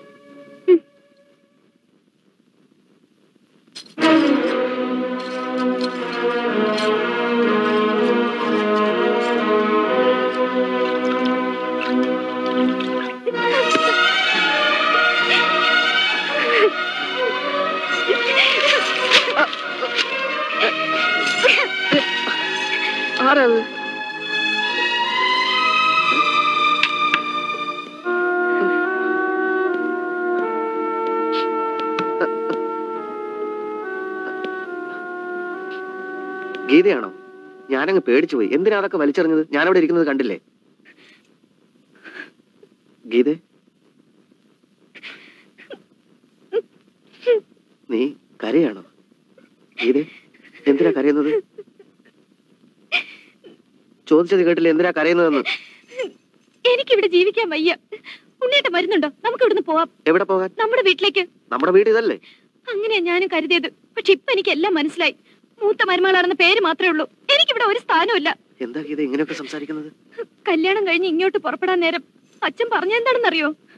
ഉണ്ണിയേട്ടന് ഒരു കുറവും വരുത്താതെ ഇനിയൊക്കെ ഞാൻ തന്നെ നോക്കി നടത്തണമെന്ന്. അതിനെന്താ? നോക്കി നടത്തിക്കോളൂ. ഇവിടെ നടക്കില്ല. ഭരണം മുഴുവൻ അനിയന്റെ ഭാര്യ കൈയടക്കി വെച്ചിരിക്കല്ലേ അടുക്കള കയറാൻ പോലും എനിക്ക് സ്വാതന്ത്ര്യമില്ല. തിരിഞ്ഞാലും പിരിഞ്ഞാലും ഒക്കെ കുറ്റം. എന്തെങ്കിലും ചോദിച്ചാ ചാടി കടിക്കാൻ വരും അമ്മയും മോളും. നിർത്ത്. നിന്നെ ആര് വേദനിപ്പിച്ചാലും ചോദിക്കാൻ ഭർത്താവായ ഞാനുണ്ട്. നിൽക്ക്. എങ്ങോട്ടാ? എന്നെ തടയണ്ട. ഈ വീട് ഭരിക്കേണ്ടത് അവളാണോ നീയാണോ എന്ന് എനിക്ക് ഇന്നറിയണം. അവളോട് ചോദിച്ചിട്ട് ഒരു കാര്യമില്ല മിണ്ടാൻ പോയാ ഉടൻ വക്കാലത്തിന് വരും ആ കിളവനും കിളവിയും. ചോദിക്കേണ്ടത് അനിയനോടാ. രണ്ടുപേരും ചേർന്നുള്ള ഒത്തുകളിയാ ഇത്. ഓഹോ അപ്പൊ അവനും ഇതിൽ പങ്കുണ്ടല്ലേ? ഭാര്യ പറയുന്നതൊക്കെ അപ്പടി വിശ്വസിച്ച് അവളുടെ താളത്തിന് തുള്ളുന്ന ഒരു പെൺകോന്തരായി പോയല്ലോ അവൻ. അവനോട് ഞാൻ ചോദിക്കും. ചേട്ടൻ പറയുന്ന ഒന്നും എനിക്ക് മനസ്സിലാവുന്നില്ല. കാര്യങ്ങൾ വ്യക്തമായി പറ. ബാല നിന്റെ ഭാര്യയുടെ പോക്ക് തീരെ ശരിയല്ല. അതിന് എന്റെ ഭാര്യ എവിടേക്കും പോയിട്ടില്ലല്ലോ. നീ നിന്റെ ഭാര്യയെ മര്യാദ പഠിപ്പിക്കണം. എന്താ? ഭാര്യയെ മര്യാദ പഠിപ്പിക്കണമെന്ന്. ആവശ്യത്തിനുള്ള മര്യാദയൊക്കെ അവൾ പഠിച്ചിട്ടുണ്ട്. ബാല തർക്കുത്തരം പറയാൻ നിൽക്കണ്ട. ഏ? തട്ടിക്കളയൊന്നോ? അത്രയ്ക്കായോ? അങ്ങനെ ഞാൻ പറഞ്ഞില്ല. എന്റെ ഭാര്യയെ നിന്റെ ഭാര്യ ബഹുമാനിക്കണം. അതിന് നീ മുൻകൈ എടുക്കണം. ഓ അങ്ങനെ. ആട്ടെ എങ്ങനെ ബഹുമാനിക്കണമെന്നാ? ചേട്ടന്റെ ഭാര്യ വരുമ്പം എന്റെ ഭാര്യ സ്കൂൾ ടീച്ചറെ കാണുമ്പോൾ കുട്ടികൾ എഴുന്നേറ്റ് നിൽക്കുന്നത് പോലെ എഴുന്നേറ്റ് നിൽക്കണോ? നീ എന്നെ ബഹുമാനിക്കുന്നില്ലേ? അതേപോലെ എന്റെ ഭാര്യയെ നിന്റെ ഭാര്യയോട് ബഹുമാനിക്കാൻ പറയടാ. ചേട്ടനെ ഞാൻ ബഹുമാനിച്ചെന്നോ? ബഹുമാനിച്ചു. ആര് പറഞ്ഞു? ജീവിതത്തിൽ ഇന്ന് വരെ ചേട്ടനെ ഞാൻ ബഹുമാനിച്ചിട്ടേ ഇല്ല. ജീവിതത്തിൽ പല അവസരങ്ങളിലും നീ എന്നെ ബഹുമാനിച്ചിട്ടുണ്ടടാ. എവിടെ വെച്ച്? ഒരു സ്ഥലം പറ. ഒരു സ്ഥലം പറ. ബാല നീ അതിരി കിടക്കുന്നു എങ്ങു നിന്നോ വലിഞ്ഞു കയറി വന്ന ഒരു പെണ്ണിനെ ബഹുമാനിക്കേണ്ടെന്ന ഗതികേട് എന്റെ ഭാര്യയ്ക്കില്ല. ആരാടാ വലിഞ്ഞു കയറി വന്നത്? എടാ ആരാടാ വലിഞ്ഞു കയറി വന്നതെന്ന്? എടാ നിന്നോടാ ചോദിച്ചത്. എന്താണ് നീ മറുപടി ഒന്നും പറയാത്തത്? നിന്റെ നാവ് ഇറങ്ങിപ്പോയോ? എടാ അയ്യോ അമ്മേ! എന്തായിരുന്നു അവിടെ ഒരു ബഹളം? ചെകിടനും കുരുടനും കൂടി ഉച്ചത്തി സംസാരിക്കുന്ന കേട്ടു. എന്താന്ന് വെച്ചാ കാര്യം പറയടി. എന്റെ കയ്യിൽ നിന്ന് താക്കോൽ തട്ടിപ്പറിച്ചു. ഏ ആര്? ആ ചെകിടന്റെ ഭാര്യയെ? അയ്യോ അയ്യോ. ഇനി ഒരൊറ്റ വഴിയേ ഉള്ളൂ. അതെനിക്കറിയാം. ഈ രാഘവൻ നായരെ പലരും മനസ്സിലാക്കാനിരിക്കുന്നേ ഉള്ളൂ. ഞാൻ പറഞ്ഞ നോട്ട് ചെയ്തില്ലേ? ലെറ്റേഴ്സ് ഒക്കെ ഇന്ന് തന്നെ ഡിസ്പാച്ച് ചെയ്യണം. ആ. പോർഷൻ എങ്ങനെയുണ്ട് അത് കൊള്ളാം. അവിടെ ഒരു വേലി കെട്ടി തിരിച്ച് അതിന്റെ ഒരു പോർഷനിൽ ഒരു ഫ്ലാറ്റ് പണിഞ്ഞാൽ എങ്ങനെ ഇരിക്കും കാശ് ഉണ്ടാക്കാൻ പറ്റിയ ഐഡിയ അല്ലേ? ഹലോ ഒന്ന് നിന്നെ. നിങ്ങളെ ഈ ഫാക്ടറി ജോലിക്കാരല്ലല്ലോ? അല്ല. പിന്നെ അങ്ങനെ ഇതിനകത്ത് വന്നു? എന്താ ഇവിടെ ഇങ്ങനെ ചുറ്റിക്കറങ്ങാൻ ഉദ്ദേശം? ഇതൊക്കെ ചോദിക്കാൻ നിങ്ങളാരാ? സാർ ആരാന്നോ? അതെ. ഞാൻ ഇവിടുത്തെ ഒരു ജോലിക്കാരനാണ്. നിങ്ങളിവിടെ ആദ്യമായിട്ട് കാണുന്നുണ്ട് ചോദിച്ചാ. അങ്ങനെ വഴിക്കുവാ നിങ്ങളുടെ മുതലാളിയല്ലേ ശ്രീധരൻ നായർ? അദ്ദേഹം ഞങ്ങളുടെ ഒരു ബന്ധുവാ. ഏത് വകയിൽ അല്ല ബന്ധു ആയിട്ടില്ല. ഉടനെ തന്നെ ആവും. ശ്രീധരൻ നായരുടെ മൂത്ത മകന്റെ ഭാര്യയുടെ അനിയത്തിയാണ് എന്റെ മകൻ കെട്ടാൻ പോകുന്നത്. മനസ്സിലായോ? ഈ ഫാക്ടറിയുടെ പകുതിയാ സ്ത്രീധനമായി പറഞ്ഞിരിക്കുന്നത് ഇതൊക്കെ ഒന്ന് കണ്ട് മനസ്സിലാക്കാമല്ലോ എന്ന് വിചാരിച്ചു വന്നതാ. അത് ശരി. അപ്പൊ ഞങ്ങൾ വരട്ടെ. ആ. പിന്നെ പണിക്കാരെ മുഴുവൻ ശ്രീധരൻ നായർ കല്യാണത്തിന് വിളിക്കും. വരണം കേട്ടാ. രണ്ടുപേരും. നല്ല ഒന്നാം തരം വർക്ക് അതെ അതെ. ഇപ്പൊ ഡ്യൂട്ടിയുള്ള വാച്ച്മാൻ എന്റെ ക്യാബിനിലേക്ക് വരാൻ പറ. Security officer sir routine round no വേഗം വരാൻ പറ. നമസ്തേ ജി. ശുക്രിയ. എന്താ സുഭാഷ് ഈ വഴിയൊക്കെ? സാർ അങ്ങോട്ട് വിളിക്കുമെന്ന് കരുതി. എങ്ങോട്ട്? എന്റെ ഓഫീസിലേക്ക്. എന്തിന്? അങ്ങനെ പറഞ്ഞിരുന്നത്. ആര് പറഞ്ഞിരുന്നു? ഗോവിന്ദൻകുട്ടി. സാറിന്റെ ഇളയ മരുമകളുടെ അച്ഛൻ. അത് മനസ്സിലായി. നിങ്ങൾ ഒരുമിച്ചല്ലേ പുതിയ ബിസിനസ് തുടങ്ങിയത്? ഞാനും ഗോവിന്ദൻകുട്ടി ചേർന്നു. ബിസിനസ്സോ സാറുമായി കൂട്ടിച്ചേർന്ന് പുതിയ ബിസിനസ് തുടങ്ങുമെന്നാണ് ഗോവിന്ദൻകുട്ടി എന്നോട് പറഞ്ഞത്. ഞാൻ അഞ്ചു ലക്ഷം രൂപ കടം കൊടുത്തു. ഒരു രേഖയും ഇല്ലാതെയാണ് കൊടുത്തത്. ഞാനും ഗോവിന്ദം കുട്ടിയായിട്ട് യാതൊരു ബിസിനസ്സും ഇല്ല. സാറിന്റെ ബന്ധുവാണല്ലോ എന്നോർത്താണ് ഞാൻ പണം കടം കൊടുത്തത്. പറഞ്ഞിരുന്ന ഡേറ്റും കഴിഞ്ഞു. ഇന്ന് വീട്ടിൽ ചെന്നപ്പോ വീട് പൂട്ടിയിരിക്കുന്നു. നമ്മൾ എന്ത് ചെയ്യണം? അത് മാത്രമല്ല സാറിന്റെ കുളത്തുപ്പുഴ എസ്റ്റേറ്റ് നമുക്ക് വാങ്ങിത്തരാമെന്നും പറഞ്ഞിരുന്നു. കുളത്തുപ്പുഴ എസ്റ്റേറ്റ് വിൽക്കുന്ന കാര്യം ഞാൻ ചിന്തിച്ചിട്ട് പോലും ഇല്ല. എസ്റ്റേറ്റ് പോകണമെങ്കിൽ പോകട്ടെ. മേരാ പൈസ. സുഭാഷാൻ വിഷമിക്കണ്ട. ഞാൻ ഗോവിന്ദ കുട്ടിയായിട്ട് സംസാരിക്കട്ടെ. രണ്ടു ദിവസം പരിഹാരം ഉണ്ടാക്കാം. തൽക്കാലം ധാരണം പറയണ്ട. ഇല്ല.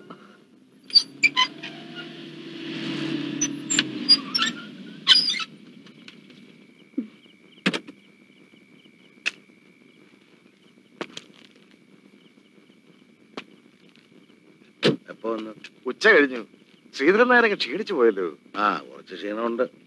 ആഹാരം ഒന്നും ശരിയാവാത്തതുകൊണ്ടായിരിക്കും. മോൾ കൊച്ചുകുട്ടിയല്ലേ അവക്ക് ഇതൊന്നും അറിഞ്ഞൂടാ. ഇനിയല്ല ഞാൻ നോക്കിക്കോളാം. ഞാൻ അടുക്കളയിൽ കയറി നോക്കിയപ്പോ മട്ടനും ചിക്കനും ഒക്കെ. അയ്യോ അതൊക്കെ കഴിക്കാവോ? പാടില്ല പാടില്ല. രണ്ട് അറ്റാക്ക് വന്ന ആളല്ലേ? ഹ്, അതൊക്കെ മറ്റൊരുടെ പണിയാ. ആദ്യമായിട്ട് കാണുകയല്ലേ? ഇവിടുത്തെ വിശേഷങ്ങളൊക്കെ പറഞ്ഞു.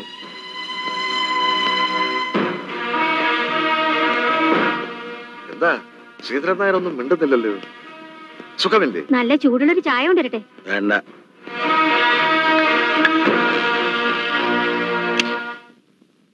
അങ്ങോട്ട് ഏറ്റില്ലേ എന്ന് എനിക്കൊരു സംശയം. അങ്ങനത്തെ മുഖം കണ്ടിട്ട് കഷായം കുടിച്ച പോലെ ഉണ്ട് അല്ല എന്തെങ്കിലും? ഉണ്ണിയം ബാലിനെ ഞാൻ വിളിക്കുന്നു പറയോ? വല്ല അത്യാവശ്യവും? അത്യാവശ്യമുണ്ട്.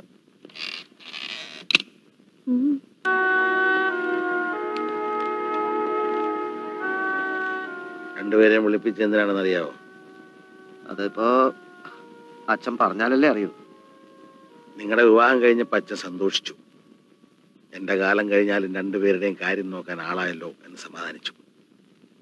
പക്ഷെ ഇന്നിപ്പോ ഇവിടെ എന്താ നടന്നുകൊണ്ടിരിക്കുന്നതെന്ന് രണ്ടാളും അറിയുന്നുണ്ടോ? ഭാര്യ വീട്ടുകാർ എന്തൊക്കെ ചെയ്തു കൂട്ടുന്ന അറിയുന്നുണ്ടോന്ന്? എന്താ രണ്ടുപേരുടെ നാവ് ഇറങ്ങിപ്പോയോ? ഇവന്റെ ഭാര്യ വീട്ടുകാർ എന്തൊക്കെയാ ചെയ്തു കൂട്ടുന്നതെന്ന് ഞാൻ അറിയുന്നുണ്ട്. അത് നോക്കിയിരിക്കലാണല്ലോ ചേട്ടന്റെയും ഭാര്യയുടെയും മെയിൻ ജോലി. എന്റെ അമ്മാവനും അമ്മായിയും ഇവിടെ വന്ന് താമസിക്കുന്നത് ഇവന്റെ ഭാര്യക്ക് ഇഷ്ടമല്ല. വന്ന് അന്ന് തുടങ്ങിയതാ. കുത്തുവാക്കും കളിയാക്കലും. പാവ അമ്മാവൻ എല്ലാം സഹിച്ചു. പാവ അമ്മാവൻ. എന്റെ അമ്മാവനല്ലേ? പാവ. അച്ഛനത് മനസ്സിലായല്ലോ. ചേട്ടന്റെ അമ്മാവനെ പോലെ അലമാര തുറന്ന് അച്ഛന്റെ സ്കോച്ചൊന്നും എടുത്ത് കുടിക്കൂല. എന്റെ അമ്മാവനെ എടുത്ത് കുടിച്ചത് എന്റെ അച്ഛന്റെ സ്കോച്ചാണ് അതിന് നിനക്ക് നഷ്ടമൊന്നുമില്ലല്ലോ. എനിക്ക് നഷ്ടമുണ്ട്. ഈ നിൽക്കുന്ന എന്റെ കൂടെ അച്ഛനാ.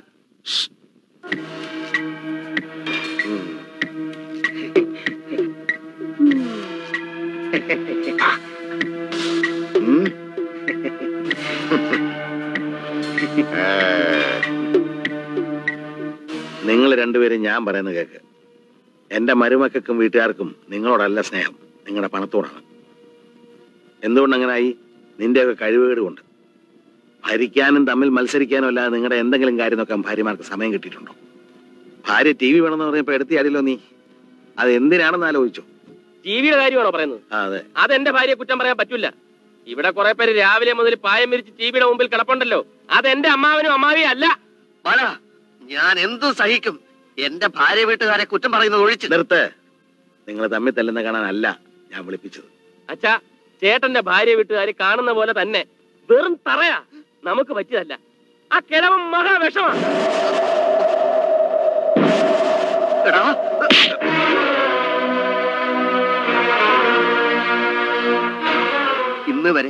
ഒരു ഈർക്കിലി കൊണ്ടുപോലും അച്ഛൻ ബാലിനെ തൊട്ടിട്ടില്ലെന്ന് എനിക്കറിയാം. ഇന്ന് അച്ഛന്റെ മുമ്പിൽ വെച്ച് എനിക്ക് അവനെ തല്ലേണ്ടി വന്നു. അച്ഛൻ ക്ഷമിക്കണം. അവൻ പറഞ്ഞതൊക്കെ അച്ഛൻ കേട്ടില്ലേ?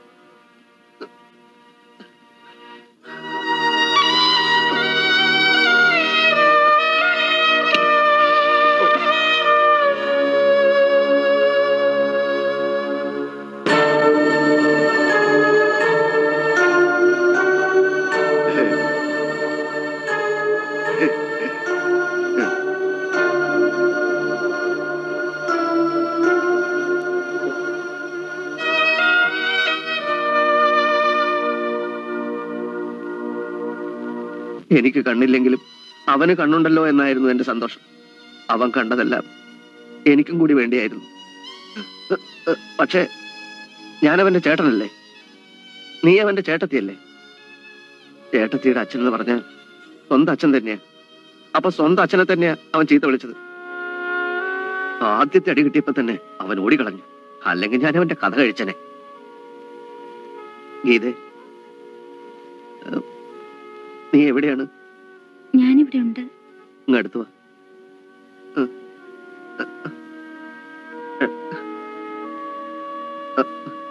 പണവും സ്വത്തും മോഹിച്ചാണ് നീ ഈ കല്യാണത്തിന് സമ്മതിച്ചെന്ന് അവർ പറഞ്ഞു. എനിക്കറിയാം നിനക്ക് എന്നോട് സ്നേഹമുണ്ടെന്ന്. ഇല്ലേ?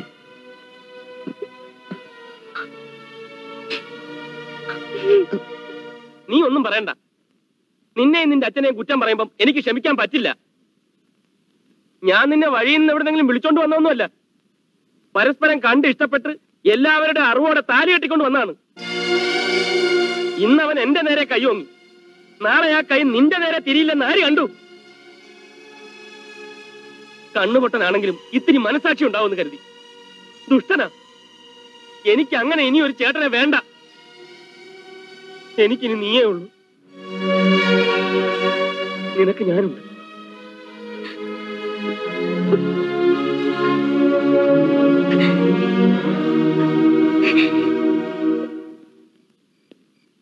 അല്ലയോ ഇപ്പൊ എന്തായി?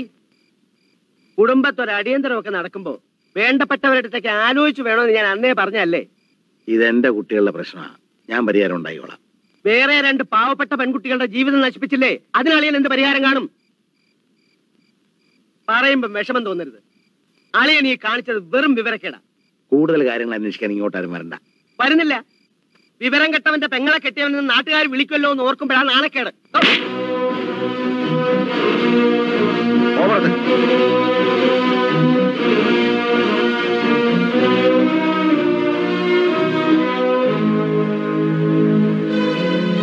സഹദേവൻ ജ്യേഷ്ഠ കുട്ടികളുടെ കല്യാണത്തിന്റെ അന്ന് ഗുണ്ടകളെ വിട്ട് തല്ലിച്ചതൊന്നും ഞാൻ ആരോടും പറഞ്ഞിട്ടില്ല.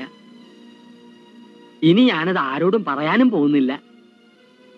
പക്ഷെ ആ വകയിൽ ചെറിയൊരു ഇടപാട് തീർക്കാനുണ്ട്. ഒന്നിങ്ങോട്ട് നീങ്ങിന്നേ സാർ ഇവിടെയാണല്ലേ അടിച്ചത്? നൊന്ത് കാണും ഇതും കൂടെ പിടിച്ചു. ചെല്ല്.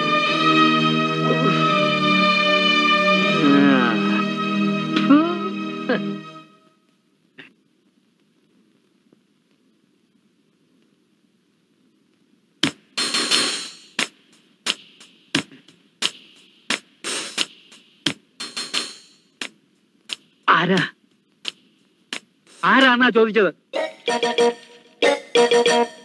വക്കീൽ സാറല്ലേ? അതെ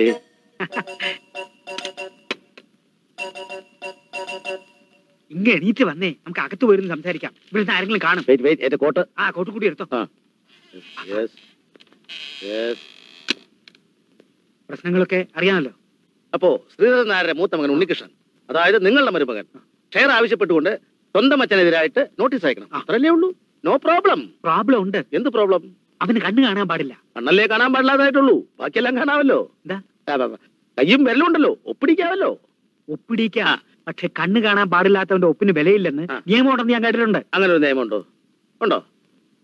കണ്ണും കയ്യില്ലാത്തതായിട്ടുള്ള എത്രയോ പേരെ കൊണ്ട് ഒപ്പിടിച്ചിരിക്കുന്നു ഞാൻ. കാലുകൊണ്ട് ഒപ്പിടിക്കാമല്ലോ. പിന്നെ അപ്പോ കേസിന്റെ കടലാസും ഒക്കെ ഞാൻ നാളെ ശരിയായിക്കോളാം. ഇന്ന് വൈകിട്ട് നാല് മണിക്ക് എന്റെ ഓഫീസിലോട്ട് വരണം. വരാം. ആയിട്ട്? ഫീസുമായിട്ട് വരാം. ഓക്കെ. Yes yes yes.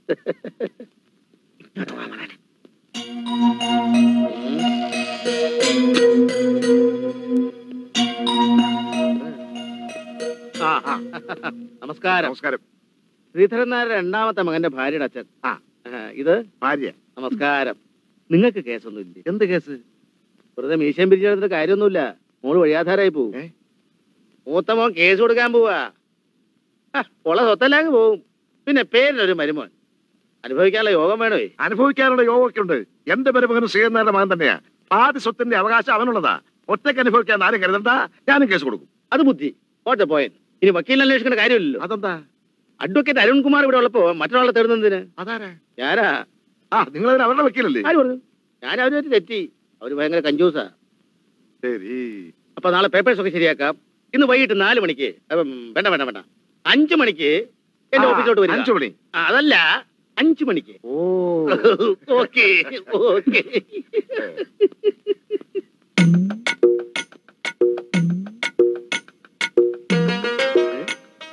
ആ. നമ്മൾ ഇവിടുത്തെ അതെ. ഈ വീട്ടിലെ പ്രതി എവിടെ? പ്രതിയോ? ആ അല്ല ഓണർ ഓണർ എന്താ കാര്യം? സംഗതി ജുഡീഷ്യലാ അത് മനസ്സിലാക്കി. വാദിയുടെയും പ്രതിയുടെയും കേസ് ഒരുമിച്ച് പിടിച്ച് വാദിക്കാനല്ലേ ഉദ്ദേശം? അതെ ഫീസ് കിട്ടുകയാണെങ്കിൽ ഞാൻ അങ്ങനെ വാദിക്കുന്നില്ല എന്താ തെറ്റ്? ഒരു തെറ്റുമില്ല അപ്പോഴേ ഒരു സംശയം. സ്വന്തം തള്ള സ്വന്തം തന്തയ്ക്കെതിരെ വിവാഹമോചന കേസ് കൊടുത്താൽ ആ. കേസും പിടിച്ച് വാദിക്കുമോ അതിനെന്താ? ഞാൻ അങ്ങനെ ചെയ്യുന്നതിൽ എന്താ കുഴപ്പം? ഒരു കുഴപ്പമില്ല വക്കീൽ എന്ന് പറഞ്ഞാൽ ഇങ്ങനെ ഇരിക്കണം.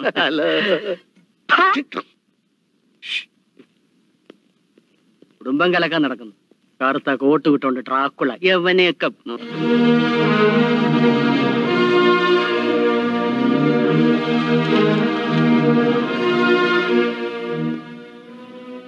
എന്റെ സ്വത്തുക്കൾ ആവശ്യപ്പെട്ടുകൊണ്ട് എനിക്ക് രണ്ട് വക്കീൽ നോട്ടീസ് കിട്ടിയിട്ടുണ്ട്. അത് ഉണ്ണിയും ബാലനും അയച്ചാണോ അതെ.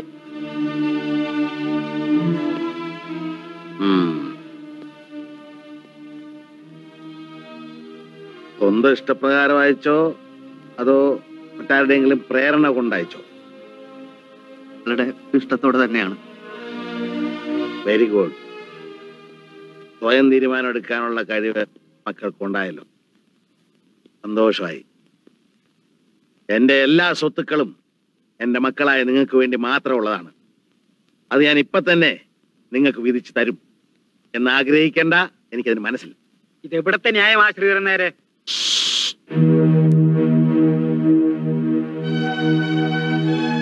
ഇപ്പൊ ഇവിടെ നിങ്ങൾ രണ്ടുപേരും കേൾവിക്കാർ മാത്രമാ. എന്റെ മക്കളോട് ഞാൻ സംസാരിച്ചത് അവരുടെ ഭാവി കാര്യത്തെ കുറിച്ച് നിങ്ങളുടെ മൂത്ത മകനെ ആശ്രയിച്ചാ എന്റെ മകളുടെ ഭാവി ഇരിക്കുന്നത്.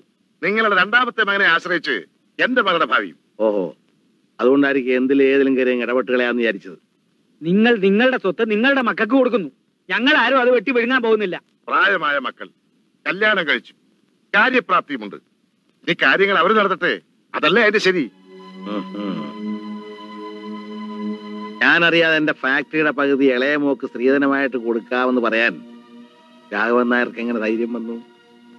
അത് പിന്നെ ഉണ്ണി മൂത്ത മകനായത് കൊണ്ട് ഫാക്ടറി ഉണ്ണിക്കായിരിക്കുമല്ലോ. സ്വന്തം ഭാര്യയുടെ അനുജത്തിക്ക് ഒരു നല്ലത് വരട്ടെ അവൻ ആഗ്രഹിക്കുന്നെങ്കിൽ അത് തെറ്റാണെന്ന് പറയാൻ പറ്റുമോ? അല്ലമ്മാവ അത് വേണ്ട. മോൻ ബന്ധപ്പെടണ്ട. ഞാൻ സംസാരിച്ചോളാം. നമ്മൾ ഒരുമിച്ച് എന്ത് ബിസിനസ്സാണ് തുടങ്ങിയത്? ബിസിനസ് ആ അത് പറഞ്ഞാണല്ലോ സുഭാഷ് റാവിന്റെ അഞ്ചു ലക്ഷം രൂപ കടവായിട്ട് വാങ്ങിയത്. അത് അത് അത് പിന്നെ നമുക്ക് വേണമെങ്കിൽ ഒരു ബിസിനസ് തുടങ്ങാമല്ലോ. ആ അത് പോട്ടെ. ഈ കൊളത്തൂപ്പുഴ എസ്റ്റേറ്റ് വിൽക്കാൻ പോകുന്നു ഞാൻ നിങ്ങളോട് പറഞ്ഞു. ആ, അതില്ല ഒരാൾ കുറച്ച് കൂടുതൽ വിരതരാമെന്ന് പറഞ്ഞപ്പോ ആ മതി. എനിക്ക് എന്റെ മക്കളോട് സ്വകാര്യമായിട്ട് അല്പസമയം സംസാരിക്കണം. ദയവായി മറ്റുള്ളവരൊന്ന് മാറി തരുമോ? പ്രവേശയാണ് അത് വേണ്ട. അല്ലേ ഉണ്ണിമോനെ? ഇവർക്ക് ആർക്കും കേൾക്കാൻ പറ്റാത്ത എന്ത് കാര്യമാണ് അച്ഛന് സംസാരിക്കാനുള്ളത്?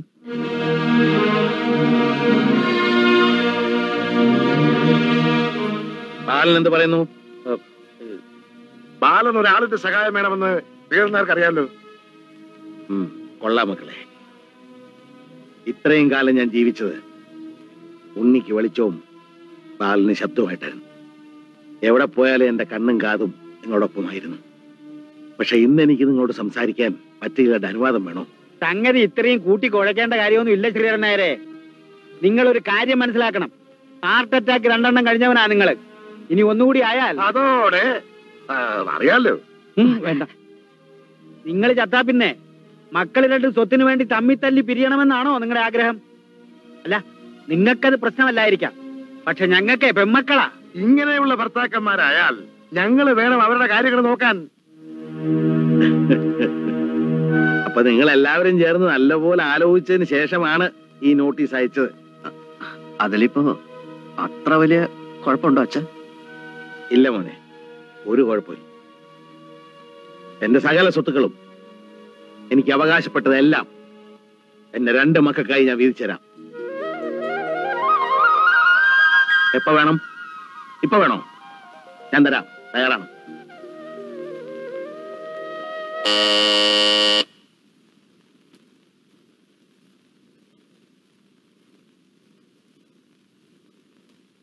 ഈ ശ്രീധരൻ നായർ സാറിനെ ഒന്ന് കാണാൻ അദ്ദേഹത്തെ ഇപ്പൊ കാണാൻ പറ്റില്ല. ഞങ്ങൾ ഇവിടെ ഗൗരവമായി ചില കാര്യങ്ങൾ സംസാരിച്ചോണ്ടിരിക്കുക അത് പറഞ്ഞാലൊക്കില്ല എനിക്ക് അദ്ദേഹത്തെ കണ്ടേ പറ്റൂ. ഓഹോ. ഒരു ഭീഷണിയുടെ ധ്വനിയുണ്ടല്ലോ. താൻ ആരാ അത് ഞാൻ അദ്ദേഹത്തോട് പറഞ്ഞോളാം. ഞാനാ സീർന്നാര് എന്താ വേണ്ടേ?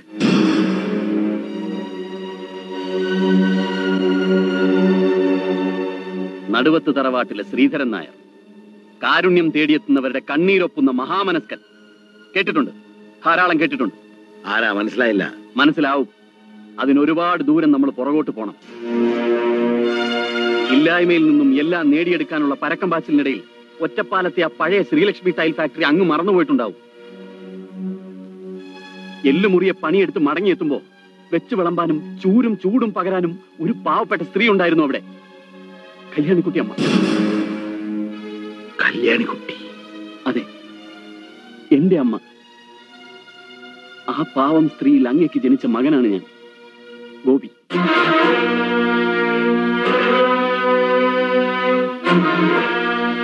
ശ്രീധരൻ നായർക്ക് രണ്ട് മക്കളെ ഉള്ളൂ. അവരായി നിൽക്കുന്നത് ഉണ്ണിയും ബാലനും. അറിയാം. അന്ധനും ബധിരനുമായ രണ്ട് കുട്ടികളെ അനാഥാലയത്തിൽ നിന്നും ദത്തെടുത്ത കഥയും എനിക്കറിയാം.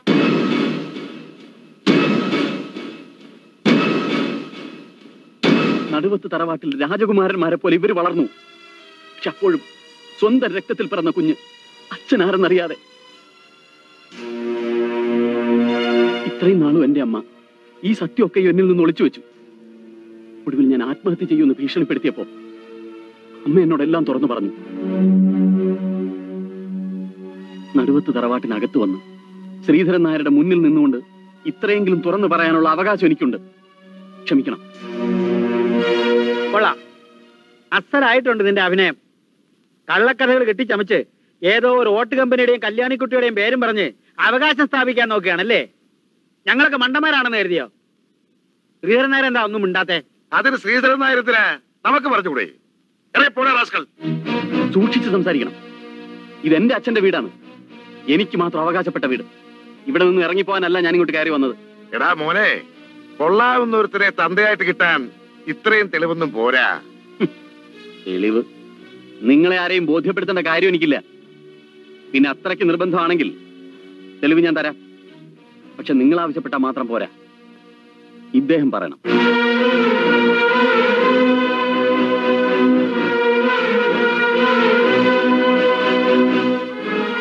എന്താ തെളിവ്?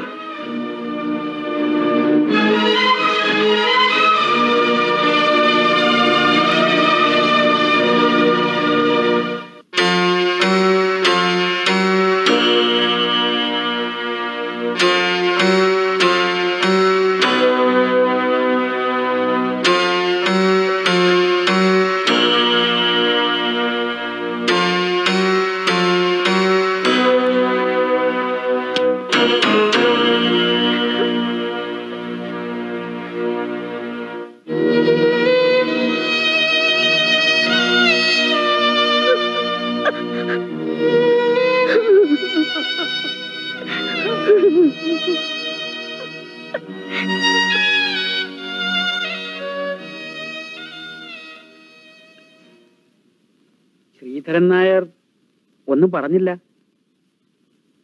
കേട്ടതൊക്കെ ശരിയാണോ? ഗോപി എന്റെ മകനാണ്. എന്നോട് പിണങ്ങി കൈക്കുഞ്ഞുമായി കല്യാണി ഇറങ്ങിപ്പോയപ്പോ ഞാൻ വിഷമിച്ചില്ല. പക്ഷെ തെറ്റെന്റേതാണെന്ന് മനസ്സിലാക്കി വീണ്ടും അവളെ എന്റെ ജീവിതത്തിലേക്ക് കൊണ്ടുവരാൻ ഞാൻ ശ്രമിച്ചപ്പോ അവൾ വിസമ്മതിച്ചു. ഇനി ഒരിക്കലും അടുക്കാൻ പറ്റാത്ത വിധം മാനസികമായി അവൾ അകന്നു കഴിഞ്ഞിരുന്നു. എന്റെ ഭാര്യയോടും കുഞ്ഞിനോടും ഞാൻ ചെയ്ത ക്രൂരതയ്ക്ക് പരിഹാരം എന്ന നിലയിലാണ് ഈ രണ്ട് കുഞ്ഞുങ്ങളെ ഞാൻ ദത്തെടുത്തത്. അതിന് കുരുടനെയും ചേടനെയും തന്നെ വേണമായിരുന്നോ ദത്തെടുക്കാൻ. പറക്കം മുറ്റിക്കഴിഞ്ഞ് ഞാനല്ല അവരുടെ അച്ഛൻ എന്ന് മനസ്സിലാക്കി എന്നെ വിട്ടു പോകാതിരിക്കാൻ വേണ്ടിയാണ് അങ്ങനെ ചെയ്തത്. ഇത്രയും കാലം സ്വന്തം മക്കളെ പോലെ ജീവിച്ചവരല്ലേ? സ്വത്തിൽ എന്തെങ്കിലും അവർക്ക് കൊടുത്തൂടെ? അതെങ്ങനെ ശരിയാവും? അച്ഛന്റെ സ്വത്ത് മക്കൾക്കുള്ളതല്ലേ? അല്ലാതെ പിന്നെ ഇത്രയും കാലം സുഖമായിട്ട് ജീവിച്ചില്ലേ? അത് മതി. ഇനി അവരെ നോക്കേണ്ടത് നിങ്ങളാ. സ്വന്തം മക്കളുടെ ഭർത്താക്കന്മാരല്ലേ?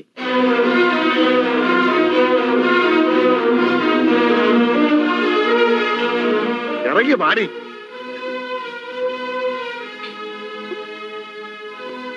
ഈ ചതി എന്നോട് വേണ്ടായിരുന്നു. വലിയ വലിയ പണക്കാരുടെ വീട്ടിൽ ഇതുപോലെ പല രഹസ്യങ്ങളും നടക്കുമെന്ന് ഞാൻ കേട്ടിട്ടുണ്ട്. ശ്രീധരൻ നായർ നോക്കിയോ? രണ്ടു മാസത്തിനുള്ളിൽ ഇതിനേക്കാൾ നല്ലൊരു ബന്ധം എന്റെ മാക്ക് ഞാൻ ഉണ്ടാക്കും. എങ്ങാണ്ട് കിടന്നൊരു ചെകിടന്റെ ഭാര്യ ആയിരിക്കേണ്ട ഗതികേടൊന്നും എന്റെ വാക്കില്ല. എന്താണ് നോക്കിയിരിക്കുന്നത്? സ്വീകരിച്ചോണ്ട് പോകാൻ ആരും വരില്ല. നടക്കേ.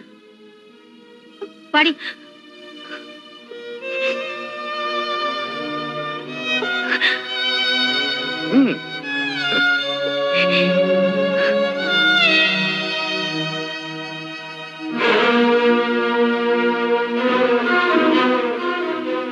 എന്റെ മോക്കൊരു ജീവിതം ഉണ്ടാകുമെന്ന് കരുതിയിട്ടാ അവളെ നിർബന്ധിച്ച് ഞാൻ ഈ വിവാഹത്തിന് സമ്മതിപ്പിച്ചത്. അതിങ്ങനെയൊക്കെ ആകുമെന്ന് ഞാൻ അറിഞ്ഞില്ല. ഒരു ഗതിയുമില്ലാത്ത ഒരു കണ്ണുകൂട്ടന്റെ കൂടെ എന്റെ മോൾ അലഞ്ഞിരിയുന്നത് കാണാൻ എനിക്ക് ശക്തിയില്ല. ആ അവൾ ചെറുപ്പമല്ലേ?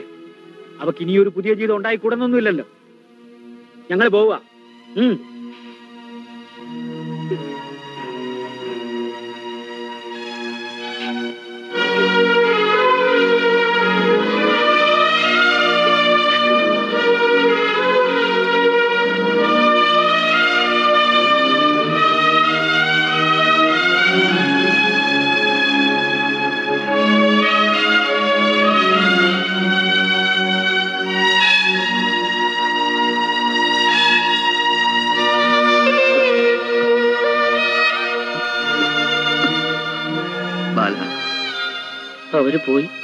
ഗീത എല്ലാരും പോയി.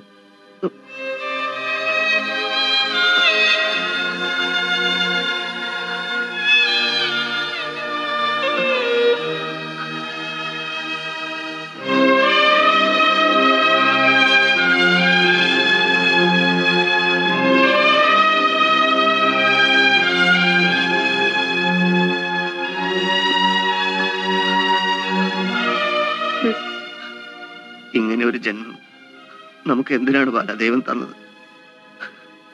വെളിച്ചമില്ലെങ്കിലും സ്നേഹമുണ്ടല്ലോ എന്ന് ആശ്വസിച്ചിട്ട്. അച്ഛൻ ഭാര്യ കുടുംബം ഒക്കെ വെറും നുണയായി. ഈ ലോകത്തിന് നമുക്കാരുമില്ല. ആരുമില്ല. ബാല കരയാണോ? കരയരുത്. അംഗവൈകല്യമുള്ള എത്രയോ പേർ തെരുവിൽ ഭിക്ഷയെടുക്കുന്നു ആ കൂട്ടത്തിൽ ഇനി രണ്ടുപേര് കൂടിയായി.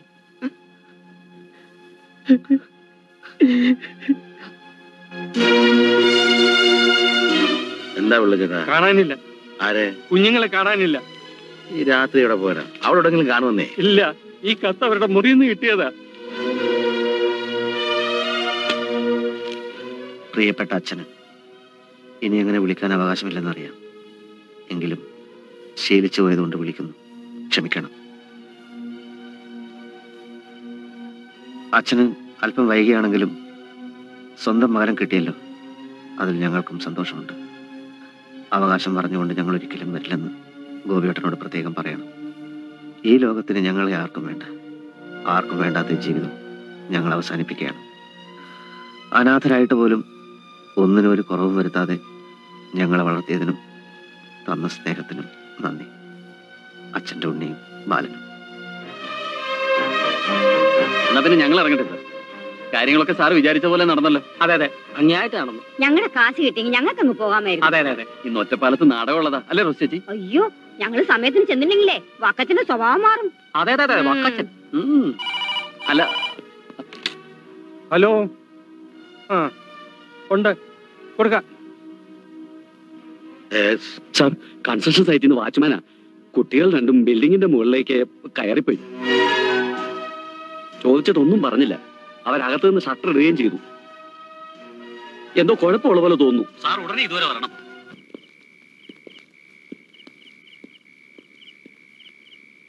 നമ്മളിപ്പോ ടെറസിലെത്തി. അഞ്ചാമത്തെ നിലയിൽ ഇവിടുന്ന് ചാടിയാൽ പൊടി പോലും ബാക്കി കാണത്തില്ല.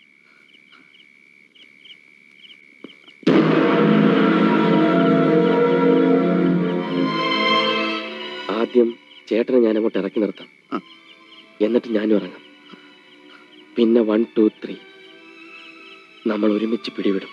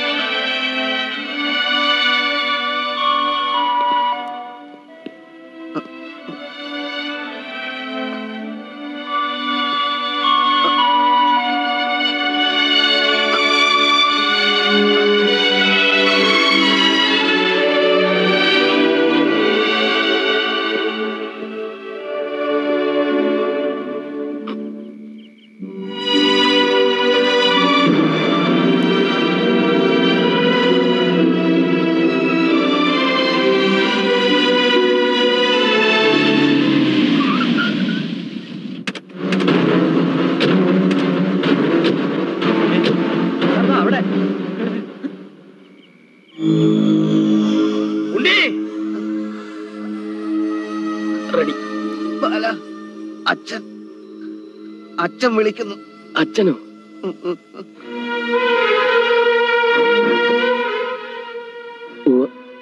അച്ഛനും അച്ഛന്റെ പുതിയ മകനും എല്ലാവരും ഉണ്ട്.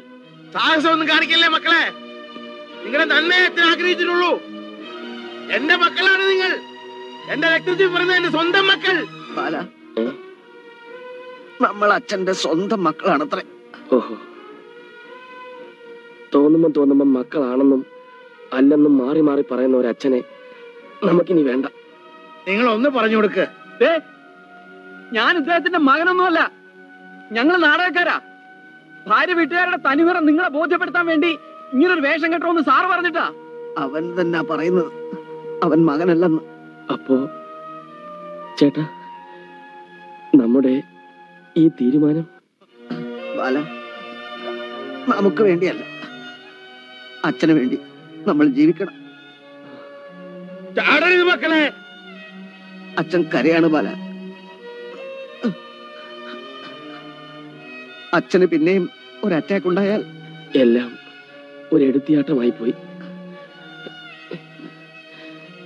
നമുക്ക് മേളിലോട്ട് കയറാം ചേട്ടാ. ആദ്യം ഞാൻ മുകളിലേക്ക് കയറാം. എന്നിട്ട് ചേട്ടനെ പിടിച്ചു കയറ്റാം.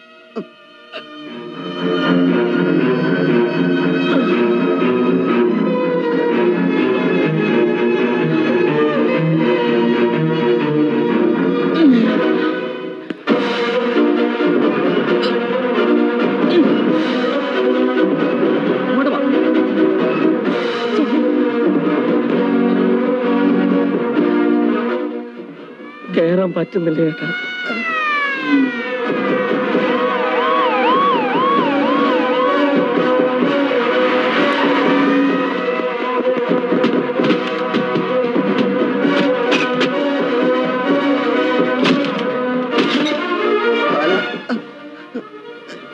എന്റെ കൈ കഴക്കും.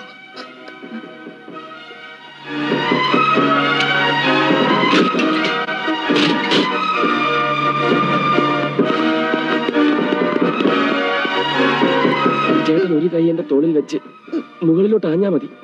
ഞാൻ തള്ളിത്തരാം. കേറി കഴിഞ്ഞിട്ട് കൈ തന്നാ മതി.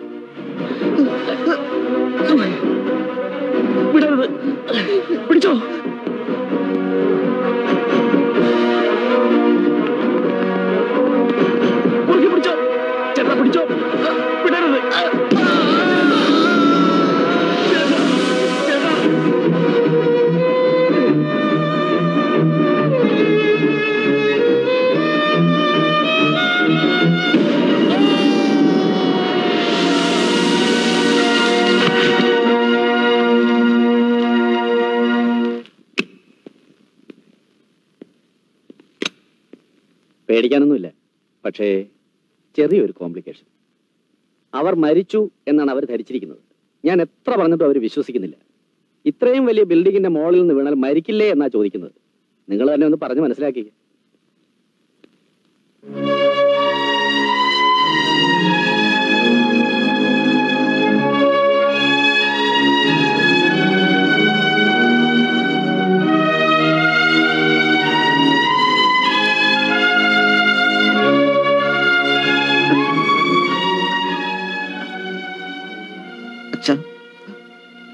ഇത്രയും ക്രൂരമായ ഒരു നാടകം വേണ്ടിയിരുന്നില്ല അച്ഛൻ. എല്ലാം നല്ലതിനാണെന്ന് വെച്ചോളൂ. ഒരു മനുഷ്യായുസ് കൊണ്ട് അനുഭവിച്ചു തീർക്കേണ്ട യാതനകൾ അത്രയും അച്ഛൻ ഒരു ദിവസം കൊണ്ട് അനുഭവിച്ചു. എങ്കിലും ദൈവം എന്നെ കൈവിടിഞ്ഞില്ല. നിങ്ങൾ എനിക്ക് തിരിച്ചു തന്നല്ലോ. വിവരം അറിഞ്ഞ് ഗീതയഞ്ജലി വന്നിട്ടുണ്ട്. എന്തിനാ അവർ വന്നത്? ഞങ്ങൾ അച്ഛന്റെ മക്കൾ തന്നെയാണെന്നറിഞ്ഞ് സ്വത്ത് കിട്ടുമെന്ന് കരുതിയിട്ടല്ലേ? ഇപ്പോഴും നിങ്ങൾ എന്റെ മക്കളല്ലെന്ന് തന്നെയാണ് അവരുടെ ധാരണ. സ്നേഹിക്കുന്ന ഭാര്യമാരായി വീട് ഉപേക്ഷിച്ച് സ്വന്തക്കാരെ ഉപേക്ഷിച്ച് അങ്ങനെയാണ് അവർ വന്നിരിക്കുന്നത്.